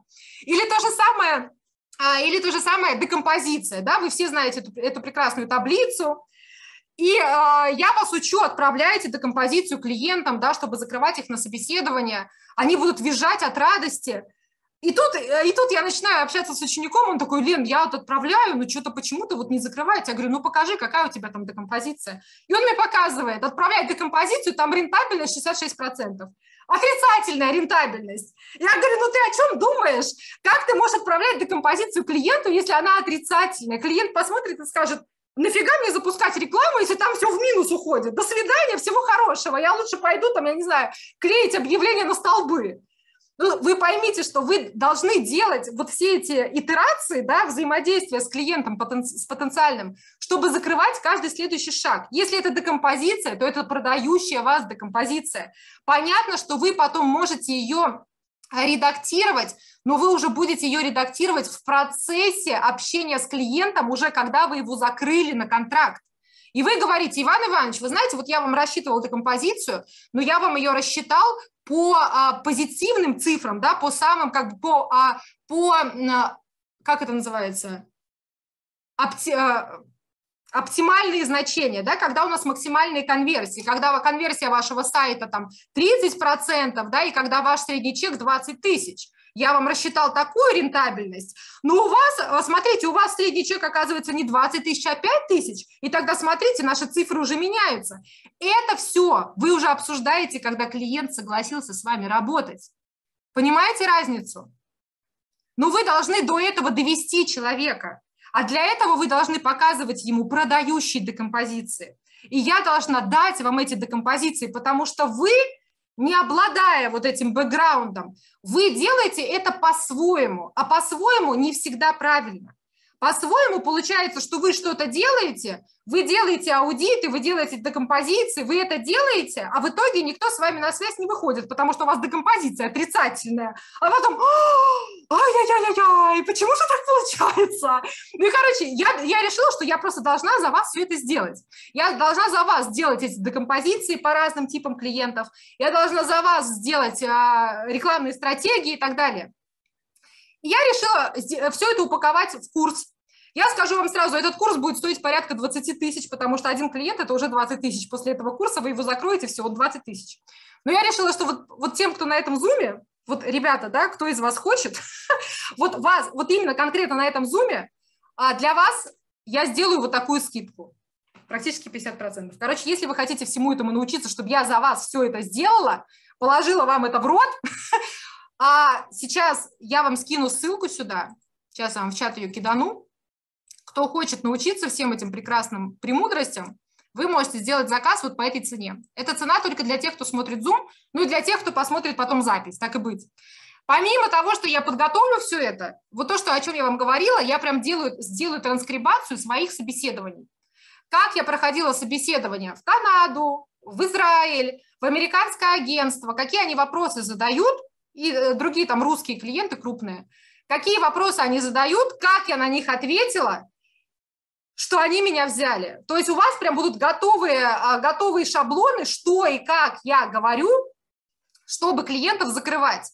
Потому что я вижу вот то, что вы воспринимаете информацию, когда я вам говорю, ну, объясните им, в чем заключается ваша работа. И я понимаю, что вы это воспринимаете немножко иначе. И вот от этого у нас возникают вот эти вопросы, что я не могу продать себя дорого, потому что вы говорите немножко не теми фразами, немножко не так. Да? Вы уже увидели на моих разборах, что я по-другому формулирую свою речь. И я хочу вам прям дать эти готовые заготовки, чтобы вы прям подготовились, тыр-тыр-тыр, оттарабанили то, что вы там выучили, и все, и закрыли клиента.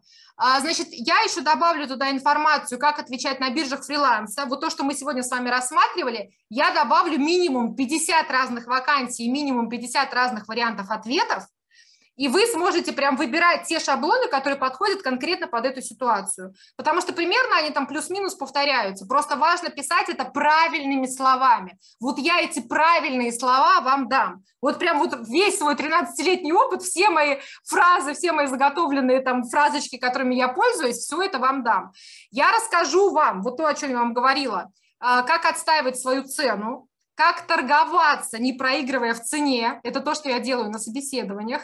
Дам вам шаблоны ответов на часто задаваемые вопросы и дам готовые речевые обороты, как влюбить в себя заказчика. Потому что когда вы говорите определенные фразы, например, фраза, которую я всегда повторяю, и вы, если ее повторяете, вас клиенты будут э, сразу брать к себе на работу.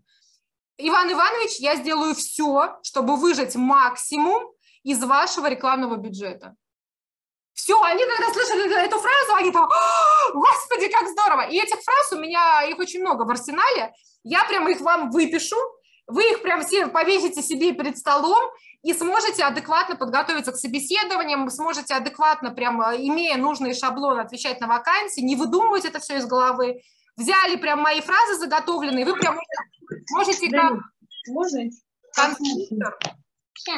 Можете прям как конструктор собирать из блоков, например, какую-то фразу из одного ответа, какую-то фразу из другого, какую-то фразу из третьего. Бах-бах, собрали конструктор, ответили, все, получили фидбэк.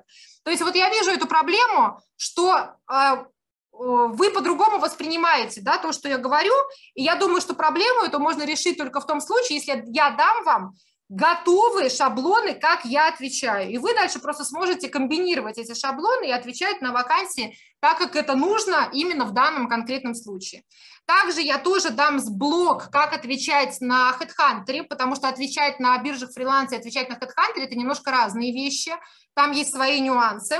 Я прям сделаю отдельные уроки, как отвечать и там, и там. А, и также у меня очень многие ученики закрывают клиентов, отвечая потенциальным клиентам, например, если видят плохо настроенную рекламу. А, кто из вас видел плохо настроенную рекламу? Вот как раз-таки это очень классный способ закрывать клиентов. У меня очень многие так получают первых клиентов, и я прям дам вам готовые шаблоны, что конкретно писать, если вы видите плохо настроенную рекламу. Прям готовые шаблоны, вы прям можете из них, опять же, как из конструктора, собирать э, свой уникальный ответ, да, потому что шаблоны – это всегда плохо, я скажу вам по секрету. Шаблоны – это всегда плохо. Но когда я вам даю, например, 50 вариантов шаблонов, вы из этих 50 вариантов можете там взять кусочек, здесь кусочек, здесь кусочек и собрать свой новый уникальный ответ. Понимаете? Напишите, насколько вам нравится эта идея, потому что мне кажется, что она, блин, гениальная. То есть я просто возьму, дам вам свои фразы, и вы из них просто как из конструктора сможете дальше а, общаться с любыми клиентами по разным совершенно направлениям. Как вам идея? А, дайте мне, пожалуйста, обратную связь. Это что-то вроде продвинутого курса по продажам. Ну да, да, то есть вот у меня в блоке в обучении я вам даю такие, знаете, основы. То есть я там, безусловно, даю вам шаблоны, я, безусловно, даю вам основы, как надо отвечать, но я вижу, что вот, знаете, вот два года я а, с вами общаюсь, провожу вот эти живые вебинары обратной связи, и я постоянно вижу проблему, что вы вроде бы отвечаете, как я учу, но все равно фраза не так построена. Все равно э, фраза сделана так, что э, люди ее по-другому воспринимают все равно что-то не так. И я вижу эту проблему, из-за этого снижается процент конверсии. А мне прям хочется, чтобы вы вот, вот если вы делаете аудит, то точно закрыли. Если вы потратили час, то 100% закрыли клиента. Если вы хотите клиента за 20 тысяч, вы сделали за 20 тысяч, а не просто так да, чтобы это было не просто вы сидите, отвечаете на вакансии, а чтобы вы отвечали реально с хорошим КПД, с хорошим коэффициентом полезной, полезного действия. И я вижу решение этой проблемы только в том, что если я прям возьму, дам вам готовые заготовки, как это делать, и вы возьмете и так и сделаете. Понятно, да? Вижу ваши огонечки. Так, так, так, вижу уже заказы, супер. Супер, давайте еще раз повторю вам э, этот лендинг, можете почитать конкретно, какие там будут уроки. Сразу говорю, что я прям пишу, э, иду к вам, Светлана, добро пожаловать, супер. Я прям говорю, что я это делаю для виповского своего тарифа, но э, как бы я эти, знаете, живые встречи устраиваю для своих ребят, для своих любимых выпускников, и мне хочется, что даже те из вас, кто как бы уже закончили обучение, да, чтобы вы имели возможность а, получить доступ к этим знаниям. А с учетом того, что там будет куча шаблонов, и я не один час посижу, чтобы это все подготовить для вас в удобоваримом формате, да, а, то а, это как бы я даю вам по какой-то минимальной стоимости, чтобы каждый из вас смог себе, себе это взять и дальше применять это на практике и закрыть своего первого клиента на 20 тысяч уже там через два дня, например. Итак, значит, мы с вами я с вами, я с вами супер, огонь. А, ссылку вам кинула в чате, ребят, можете открыть и потом там изучить ее уже после нашего зума, хорошо? А, ссылочку вот вам кинула в чате, пожалуйста, ее откройте, чтобы она у вас была в соседней, в соседней вкладочке, и дальше после зума ее сможете изучить и там оформить заказ, либо с моими девчонками поговорить, если там, э, например, хотите пойти в рассрочку. Все, значит, про это поговорили. А, если кто-то хочет со мной прям индивидуальную консультацию, там тоже есть такой пакет, э, кнопочка внизу э, за немножко подороже. Это если вы хотите прям индивидуально со мной пообщаться по поводу ваших вакансий, ответов на вакансии. Теперь смотрите, что я вам обещала рассказать. Давайте вернемся к, а, вот к этому волшебному файлику. Вот он. Что было сделано не так? Значит, вопрос, Лена, я общался с клиентом, что пошло не так? Значит, смотрите, а, вакансия. Сначала внимательно читаем текст вакансии. Настройка Яндекс Директа для магазина украшений. Настройте эффективную контекстную рекламу для интернет-магазина украшений. Готов обсуждать варианты, опции, форматы. Что нужно сделать? Оценить проект, выдвинуть несколько гипотез, совместно с руководителем выбрать одну-две гипотезы, настроить несколько компаний на эти гипотезы. Если всех все устраивает, то повторяем процедуру. Проверка на ботов, начните отклик со слова «самоцвет». Окей. Смотрим ответ. Самоцвет уже хорошо. А, готов взяться за ваш проект. Для оценки проекта надо взглянуть на сам сайт. Дайте мне ссылку, сделаю бесплатный аудит. Ну окей. Клиент отвечает и дает ссылку на сайт. Мы с вами видим этот сайт самоцвет.ру. Дальше ученик отвечает. Слушайте, классный сайт, прям залип на нем, и навигация очень удобная. Единственное, смущает пункт там какой-то, да, насколько это удобно для розничного клиента. Дальше клиент отвечает. Сюда, а, так, с удовольствием поработать с вашим проектом. Когда сможем обсудить детали? Смотрите, Ничего вы не сказали, но уже а, как бы когда сможем обсудить детали, то как будто бы клиент уже дал вам свое согласие. То есть это неправильная формулировка, нельзя так говорить. Это наоборот раздражает. Клиент сразу думает, какие детали? Я еще даже не понял, кто ты и что ты, какие мы детали с тобой будем обсуждать. И дальше смотрите, клиент отвечает. Про звонок он отвечает на вопрос, детали с радостью обсужу. Какие у вас предложения для нас? Формат рекламы, на какие категории, страницы в каком виде. То есть, видите, клиент готов идти на контакт, но он от вас хочет услышать хоть какие-то предложения.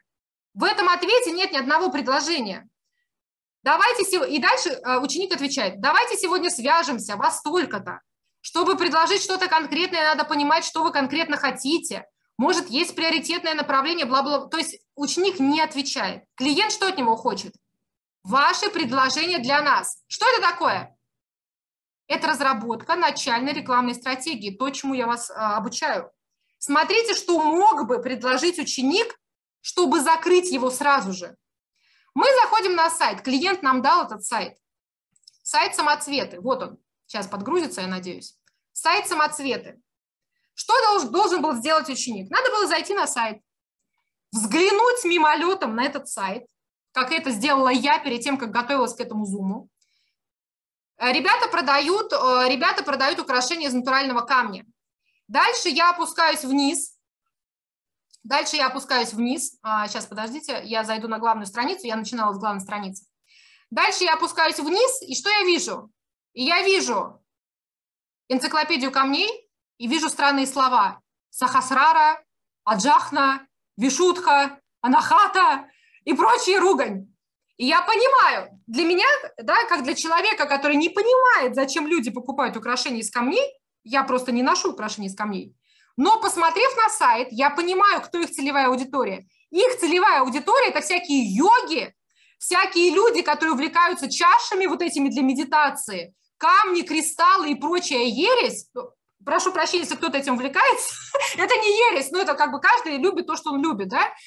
Но а, люди просто увлекаются очень активно всякими этими камнями, кристаллами и прочее, и это их целевая аудитория. И для того, чтобы закрыть этого клиента, вам надо было всего лишь сделать что? Вам надо всего лишь было сделать вот это. То, чему я вас обучаю у себя на курсе. Каждый из вас знает это. Каждый из вас это делает в первых уроках. Разработка начальной рекламной стратегии. Надо было всего лишь сделать как минимум вот это. Ваш сайт нужно рекламировать по людям. Я предлагаю вам такие гипотезы. Первые люди, которые способны, готовы покупать у вас продукцию, это люди с, прямым, с прямыми покупательскими запросами. А это запросы все, которые были у них на сайте. Посмотрите. А, значит, серьги с аметистом, серьги с, радох, с радохразитом, а, там бусы из жемчуга и так далее. То есть прямое покупательское намерение купить. Украшения из натурального камня, браслеты из аметиста, серьги с малахитом, бусы из жемчуга и так далее. Там огромная семантика. Это первое. На таких людей мы запускаем поиск РСЯ. И вторая, огромный пласт целевой аудитории – это люди, которые увлекаются йогой, чашами и всякими медитациями. И мы можем запускать баннерную рекламу, а также рекламу по аудиторным таргетингам на всяких любителей йоги, по запросам Аджхна, Вишутха, Анахата, Манипура и так далее. Вы видите, я предложила две гипотезы, при том, чтобы это сделать, я это сделала ровно за пять минут. Это мне стоило пяти минут моего времени. И если бы я вот это отправила конкретно вот этому клиенту, конкретно вот этому клиенту, где он тут у меня? Вот, Какие у вас гипотезы? Что вы предлагаете для нашего сайта? Я предлагаю рекламироваться как и минимум первое на людей с прямыми покупательскими запросами, второе на любителей йоги. Предлагаю обсудить детали вашего проекта. Все. Вы бы закрыли этот интернет-магазин. А по интернет-магазину, ребята, цена работы минимум от 30 тысяч. Вы бы его закрыли, этого клиента, если бы вы просто сделали вот это. Напишите, пожалуйста, огонь, если вы теперь понимаете, насколько просто закрывать клиентов, когда вы понимаете, как это делать. Напишите, дайте мне, пожалуйста, огня, потому что меня лично восхищает, насколько просто их закрывать и поражает, насколько тяжело вам хотя, ну, знаете как, вы новички, это нормально, я тоже не начинала с этого. Вы поймите, что я к этому пришла, у меня за плечами 13 лет опыта общения с клиентами. Я могу вот так определить, что ему надо. И именно поэтому вот у меня родилась эта идея вот этого курса, что просто взять за вас все это сделать. Если у вас просят гипотезы, вы должны сделать вот это. Я вам это покажу на примере нескольких сайтов разных, и вы просто потом сможете подредактировать это под своего конкретного клиента, которому вы это делаете. Если у вас там интернет-магазин велосипедов, бога ради, делайте на интернет-магазин велосипедов. У вас там будут любители горных э, там всяких велосипедов и прямые покупательские запросы. Вы сделали вот такую вот маску, от, э, ну, э, разработку начальной рекламной стратегии с масками, отправили клиенту, вывели его на собеседование, вы уже знаете по моему курсу, будете знать, как проводить эти собеседования, чтобы грамотно на нормальные чеки себя продавать. И закрыли клиента минимум тридцаточку. Все, просто какой чинаж. Просто я поняла, что вам надо больше шаблонов, вам надо больше готовых фраз, вам надо больше готовых материалов, которые вы просто вот взяли, как конструктор собрали и сделали. Ну что, как вам идея? Мне просто хочется от вас получить обратную связь, потому что мне идея вот этого вот тренинга, она пришла ко мне буквально вчера. Я вот это накидала сегодня, потому мне кажется, что это вот ровно то, что вам нужно. Потому что, исходя из тех проблем, с которыми вы сталкиваетесь, я вижу, что именно в этом проблема. Вы слышите, что я вам говорю, но вы дальше это через свою призму пропускаете и пишете вроде бы как нужные фразы, но все равно получается не так. Давайте чат открою, посмотрю, что вы мне пишете. Супер, супер идея, супер. Алексей, поздравляю, видимо, за это. А, друзья, все, кто ко мне уже идут... Значит, Шикарная идея. Супер, спасибо большое. Смотрите, я, э, те, кто из вас сейчас оформляют эти заказы, я этот тренинг буду писать на следующей неделе. То есть вы, пожалуйста, потерпите недельку, мне нужно подготовить все эти материалы, все эти шаблоны, я прям плотно всю неделю буду сидеть, это все готовить под вас, под разные типы бизнесов, чтобы у вас были прям, знаете, по 10 шпаргалок прям на каждые варианты, на интернет-магазины, там на онлайн-школы, на все, чтобы вы прям открывали, и у вас были готовые планы уже, как и, что, как и где говорить. Поэтому всю следующую неделю я плотно буду заниматься этим вопросом. Вы сейчас вот делаете заказ по этой цене, и через неделю вам все это откроется, все сразу, там ничего по расписанию не открывается, все сразу сядете, изучите, и дальше у вас будут все эти готовые шпаргалки, все эти готовые шаблоны, и вы прям по ним тыр-тыр-тыр-тыр-тыр, ваша задача закрыть минимум там сразу в течение первой недели клиента на 20 тысяч. То есть задача этого тренинга, чтобы вы могли закрывать клиентов по двадцатке. Вот для чего я это делаю. А, потому что основная проблема – это то, что, ой, они не хотят платить там больше 5 тысяч. А почему не хотят? Потому что вы не вывели их на собеседование, не раскрыли ценность своего предложения, не раскрыли ценность, что вы делаете, как вы это будете делать. Понятно? Вы не продали себя. Как бы поэтому они вам не хотят платить 5 тысяч. Я вам рассказываю по своему опыту. Я говорю клиенту, а, мы, смотрите, я когда выхожу на собеседование, у них в вакансии написано 50 тысяч за проект, например. Когда я выхожу на собеседование, я показываю свои карты, говорю Иван Иванович, Значит, у меня для вас а, будет такая стратегия. Мы с вами настраиваемся на прямые покупательские запросы, на людей, которые уже готовы покупать ваш товар. Также я вижу, что ваша целевая аудитория – это люди, заинтересованные йогой, медитациями. Для них мы запустим баннерную рекламу, потому что баннерная реклама недорогая, там небольшая цена клика, но при этом вы будете охватывать большую целевую аудиторию свою. Мы сделаем привлекательные баннерные объявления и таким образом будем собирать вот этих людей из верха воронки. Я вот это все рассказываю, рассказываю, рассказываю. Очень важно на собеседованиях перехватывать инициативу. Вот это тоже очень ваша большая ошибка, что вы на собеседовании, когда идете, вы просто сидите и отвечаете на вопросы. У кого, вот у кого были такие собеседования, что вы сидите и отвечаете на вопросы? Кто из вас считает, что собеседование – это ответы на вопросы? Поставьте, пожалуйста, десяточки в чате. Я вас разочарую, ребята. Собеседование – это не ответы на вопросы. Собеседование – это перехватывание инициативы на свою сторону, когда вы сидите и говорите, что делать клиенту. Вы, как специалист, рассказываете, что вы будете делать. И когда вы перехватываете инициативу, клиент сидит, ага, ага, ага, ага, и он уже такой, он уже сидит, думает, я готов тебе уже 200 платить просто, господи, пожалуйста, согласись. Вот вы так должны вести собеседование. Я буду вам это все рассказывать. Я буду прям прописывать скрипты, что вы должны говорить. И после этого клиент вас спрашивает, Елена, сколько вы хотите за свою работу? И я говорю, Иван Иванович, я хочу 200 тысяч. Клиент такой, ой, божечки, божечки, 200 тысяч, у нас нет столько. А я на самом деле, например, хочу 100. Я вам раскрою тайну. Если вы хотите получить 100, называйте 200. Это, это основное правило переговоров.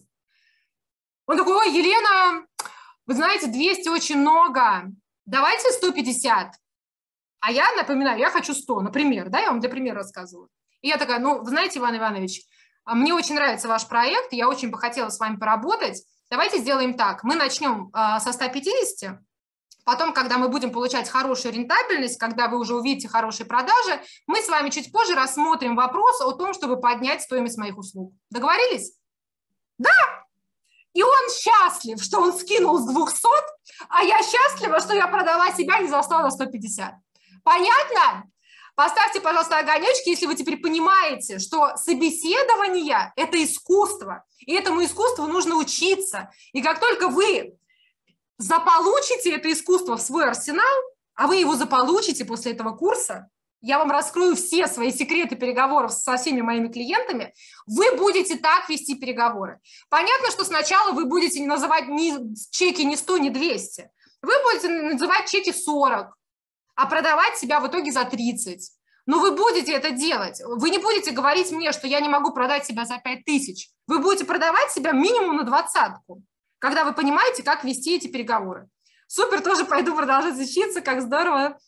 Шаблон на самом деле экономит много времени, убирает ступор перед чистым листом. Да, да, да, да, это так. Огонечки, огонечки. А, так, Ольга, рада вашему чаю. Ребят, я тут не вижу весь чат, да, а, поэтому всех, всем добро пожаловать, тем, кто покупает. Всю следующую неделю буду писать активно, готовить для вас все эти материалы. Те, кто посмотрит в записи, ребята, для вас тоже эта цена актуальна, а остальным буду продавать дороже. Продаю вам по этой цене только потому, что вы мои любимые выпускники. А, так, еще раз, давайте продублирую вам эту ссылку. Сейчас, где она у меня? Еще раз продублирую. Так, а, если какие-то у вас есть на данный момент, я, в принципе, все вам рассказала. Смотрите, если у вас есть какие-то вопросы, готовы сейчас на ваши вопросы поотвечать. Буквально 10 минуточек поотвечаю на ваши вопросы. Тем, кто готов обучаться искусству, прекрасному, выгружать знания из моей головы в свою, получать все эти прекрасные шаблоны. Давайте дублирую вам еще раз ссылочку сюда. Потом после эфира внимательно посмотрите, что там будет, и сделайте заказ. Какие у вас есть вопросы, ребят, ко мне а, по поводу ответов на вакансии?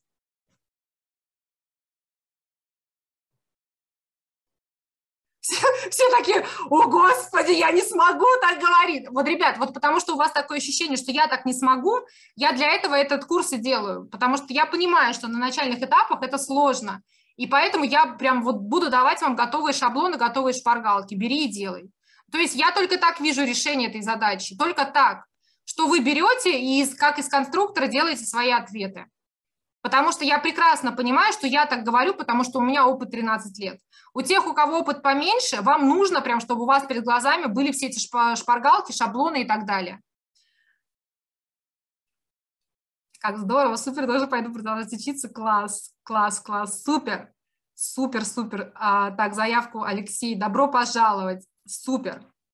Так, ну что, у всех вопросов нет, да? Смотрите, кому нужно, кому нужна вот эта вот шпаргалочка, которую я вам показывала? Вот это вот. Вот эта шпаргалочка, кому нужна? Поставьте плюсики. Поставьте плюсики в чате, кому нужна. Это сложно вот так, что нет опыта, я не могу обычно сообразить, что предложить. Ну да, вот именно поэтому я все эти шпаргалки делаю, чтобы а, не говорить вам, что вам надо сделать призывы к действию, или там вам приз, примеры, примеры призывов к действию, да, потому что я в обучении даю все эти примеры, я даю там а, две-три шпаргалки, но я понимаю, что вам надо больше, я понимаю, что вам прям надо больше, чтобы вы потом вот из этого больше, вы потом разбирались, да, и, дел, и э, лепили, лепили, да, как из пластилина свой, свой уникальный ответ. Кому нужна, да? Смотрите, вы все сюда заходили в этот Zoom через авторизацию, то есть у меня все ваши e-mail есть. Давайте сделаем так, я вам эту шпаргалочку просто отправлю потом после этого зума письмом, потом проверьте свою почту и в Телеграм еще кидану вам, чтобы у вас эта шпаргалочка была. А, значит, э, всех э, жду с нетерпением у себя на курсе, вот на этом, да, специально для вас вот эта минимальная цена, потому что сразу говорю, дальше буду продавать дороже. Я даже за тридцатку, наверное, буду продавать, потому что один клиент 20 тысяч, вы по факту уже отбили весь тренинг. Вот, поэтому а, только для вас, тех, кто на этом зуме, цена будет такая. Ссылка в чате, а, ссылка в чате, еще раз продублирую. Потом после зума, кто не успел, зайдете, внимательно прочитаете и забронируете. Как зависит оплата от количества рекламных кампаний при работе, работе с одним заказчиком? Ага, а, значит, вопрос заключается в том, а, а, от чего зависит наша оплата, да, если вы работаете, настраиваете 3 рекламных кампании, 10, либо 20, да, в этом заключается вопрос. Значит, смотрите, когда вы только берете клиента, иногда бывает сложно сразу оценить объем работы, потому что, потому что у клиента, во-первых, клиент может разрастаться, у клиента могут добавляться новые товары, новые услуги, у клиента могут добавляться новые площадки. Вот кто из вас сталкивался с тем, что вы берете клиента, он такой вам через месяц говорит, ой, вы знаете, Лен, вы так хорошо работаете, давайте вы мне еще Google настроите, а давайте вы мне еще ВК настроите, а вот у нас там еще товар пришел, давайте вы нам еще там миллион рекламных кампаний настроите. Вы должны четко понимать, что когда вы устраиваетесь к клиенту, ваша оплата, она не забита гвоздями. Ваша оплата, она варьируется. И вы, вот видите, вы помните, какую я вам фразу сказала про собеседование? Я вам сказала фразу. Иван Иванович, сейчас я соглашаюсь на 150, но в дальнейшем, когда рентабельность будет хорошая, когда вы будете получать хорошие продажи, мы с вами заново обсудим условия моей работы. Вы помните эту фразу? Поставьте, пожалуйста, плюсик. Как вы думаете, зачем я эту фразу говорю на собеседовании? Я эту фразу говорю не просто так. Я эту фразу говорю для того, чтобы потом иметь возможность сказать, Иван Иванович, у нас с вами в работу добавились новые компании, у нас добавились новые площадки, объем моей работы вырос в три раза. Посмотрите, какие классные результаты мы с вами получаем. Поэтому э, сейчас стоимость моей работы будет не 100, а 180. Понимаете, я сразу про это говорю, что в дальнейшем моя работа может стоить дороже в зависимости от объемов работы, которые я выполняю. Я всегда это обсуждаю с клиентом. Не бойтесь, пожалуйста, с клиентами разговаривать словами через рот. Если вас клиент взял за 10 тысяч, а через полгода клиент вырос с 5 компаний до 15, это значит, что вы тоже растете вместе с клиентом. Вы тоже говорите клиенту, Иван Иванович, посмотрите, какую путь, какой путь мы с вами проделали. Посмотрите, а, как выросла наша рекламная кампания, посмотрите, какие результаты мы с вами получаем. Вот отчет по нашей работе. Кстати, повышать стоимость тоже надо уметь. Мы не просто так повышаем. Иван Иванович, завтра моя цена 180, а не 100. Нет, конечно. Мы даем отчет, какой результат мы сделали, а, каким, каким результатом мы вместе пришли, и только после этого говорим, Иван Иванович, исходя из тех результатов, которые мне получается вам делать, а, стоимость моей работы со следующего месяца я хотела бы получать 180. Понятно, да?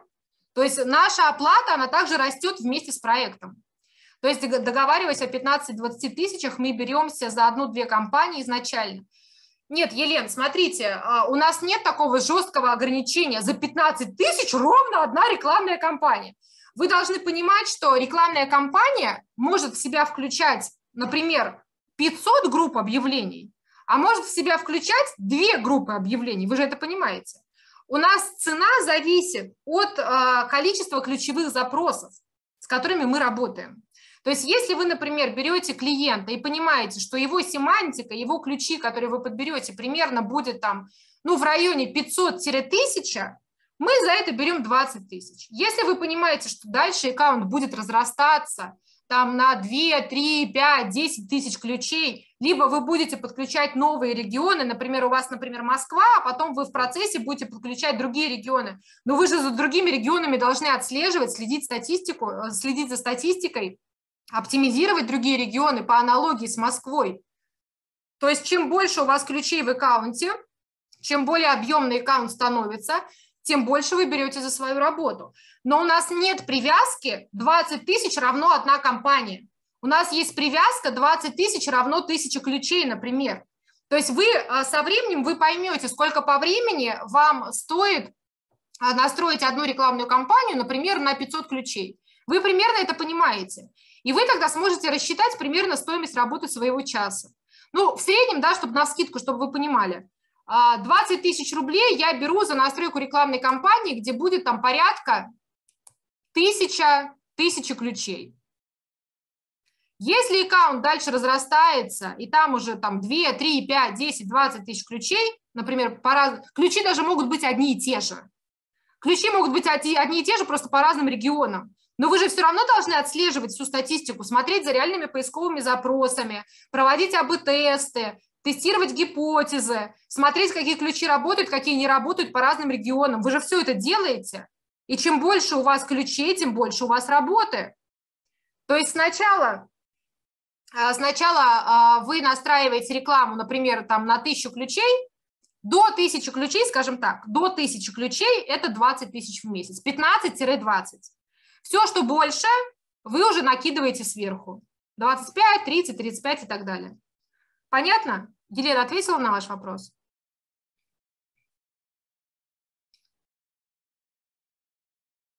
Так, заявки идут, супер, супер, добро. Я, я прям, знаете, я когда писала вот этот курс, я прям восхищалась потому что я пишу его, пишу его, пишу и понимаю, надо дать еще это, надо еще рассказать, как вести себя на собеседованиях, надо рассказать, как вести переговоры, надо рассказать, как удерживать цены, надо рассказать там, как отвечать на биржах, надо дать им еще 50 шаблонов, надо дать им еще шаблоны, как отвечать на HeadHunter. И у меня прям это, знаете, всплывает, всплывает, всплывает, сколько всего вам надо дать.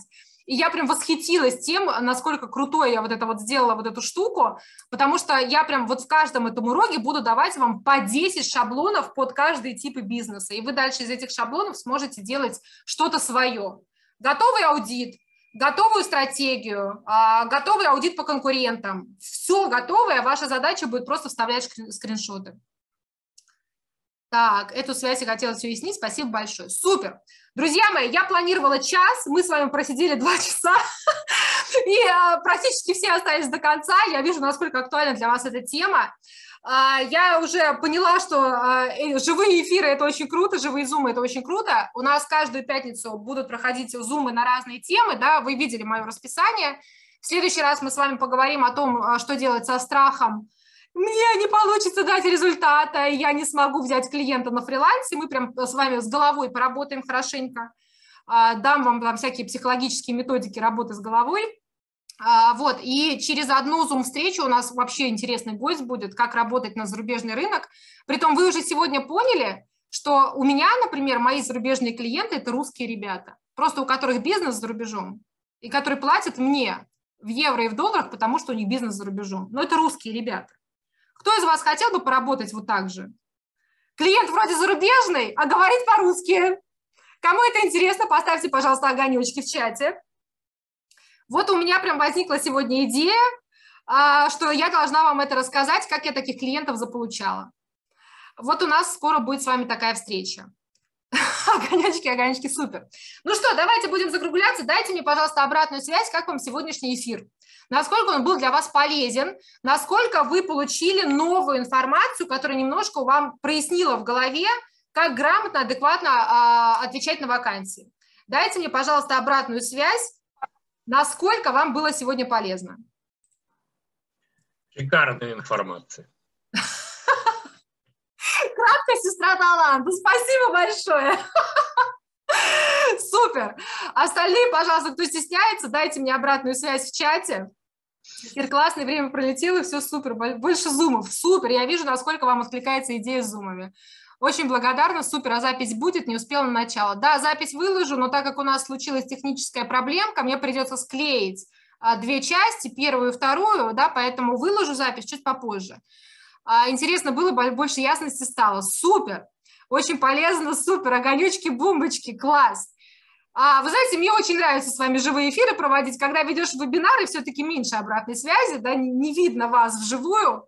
Огромное спасибо, очень ценные знания, супер. Спасибо, что находите время на такие встречи, новые полезные курсы. Огонь!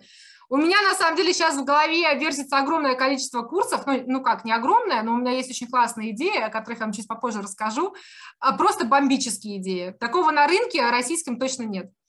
А, я зарядилась опять мотивируйте. Класс, класс. Я очень рада, что вы получаете не только полезные знания, но еще и волшебный мотивационный пинок идти и закрывать этих клиентов и щелкать их как орешки. Супер, спасибо вам большое за вашу обратную связь. Все, давайте закругляться. Мне пора ехать за ребенком в детский садик. Планировала один час, получилось два. Все супер. Значит, ребят, кто идет ко мне на курс, еще раз кидаю вам ссылочку. А, через неделю все будет готово, все шаблоны, все конструкции, все записи, транскрибации моих, а, моих собеседований, все у вас будет. Поэтому а, поздравляю всех, кто уже купил, все, всех, кто уже с нами. Все остальные можете потом после зума зайти внимательно посмотреть на эту страничку.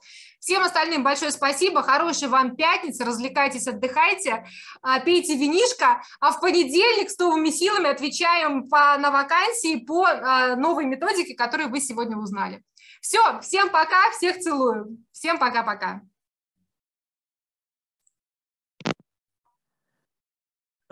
唉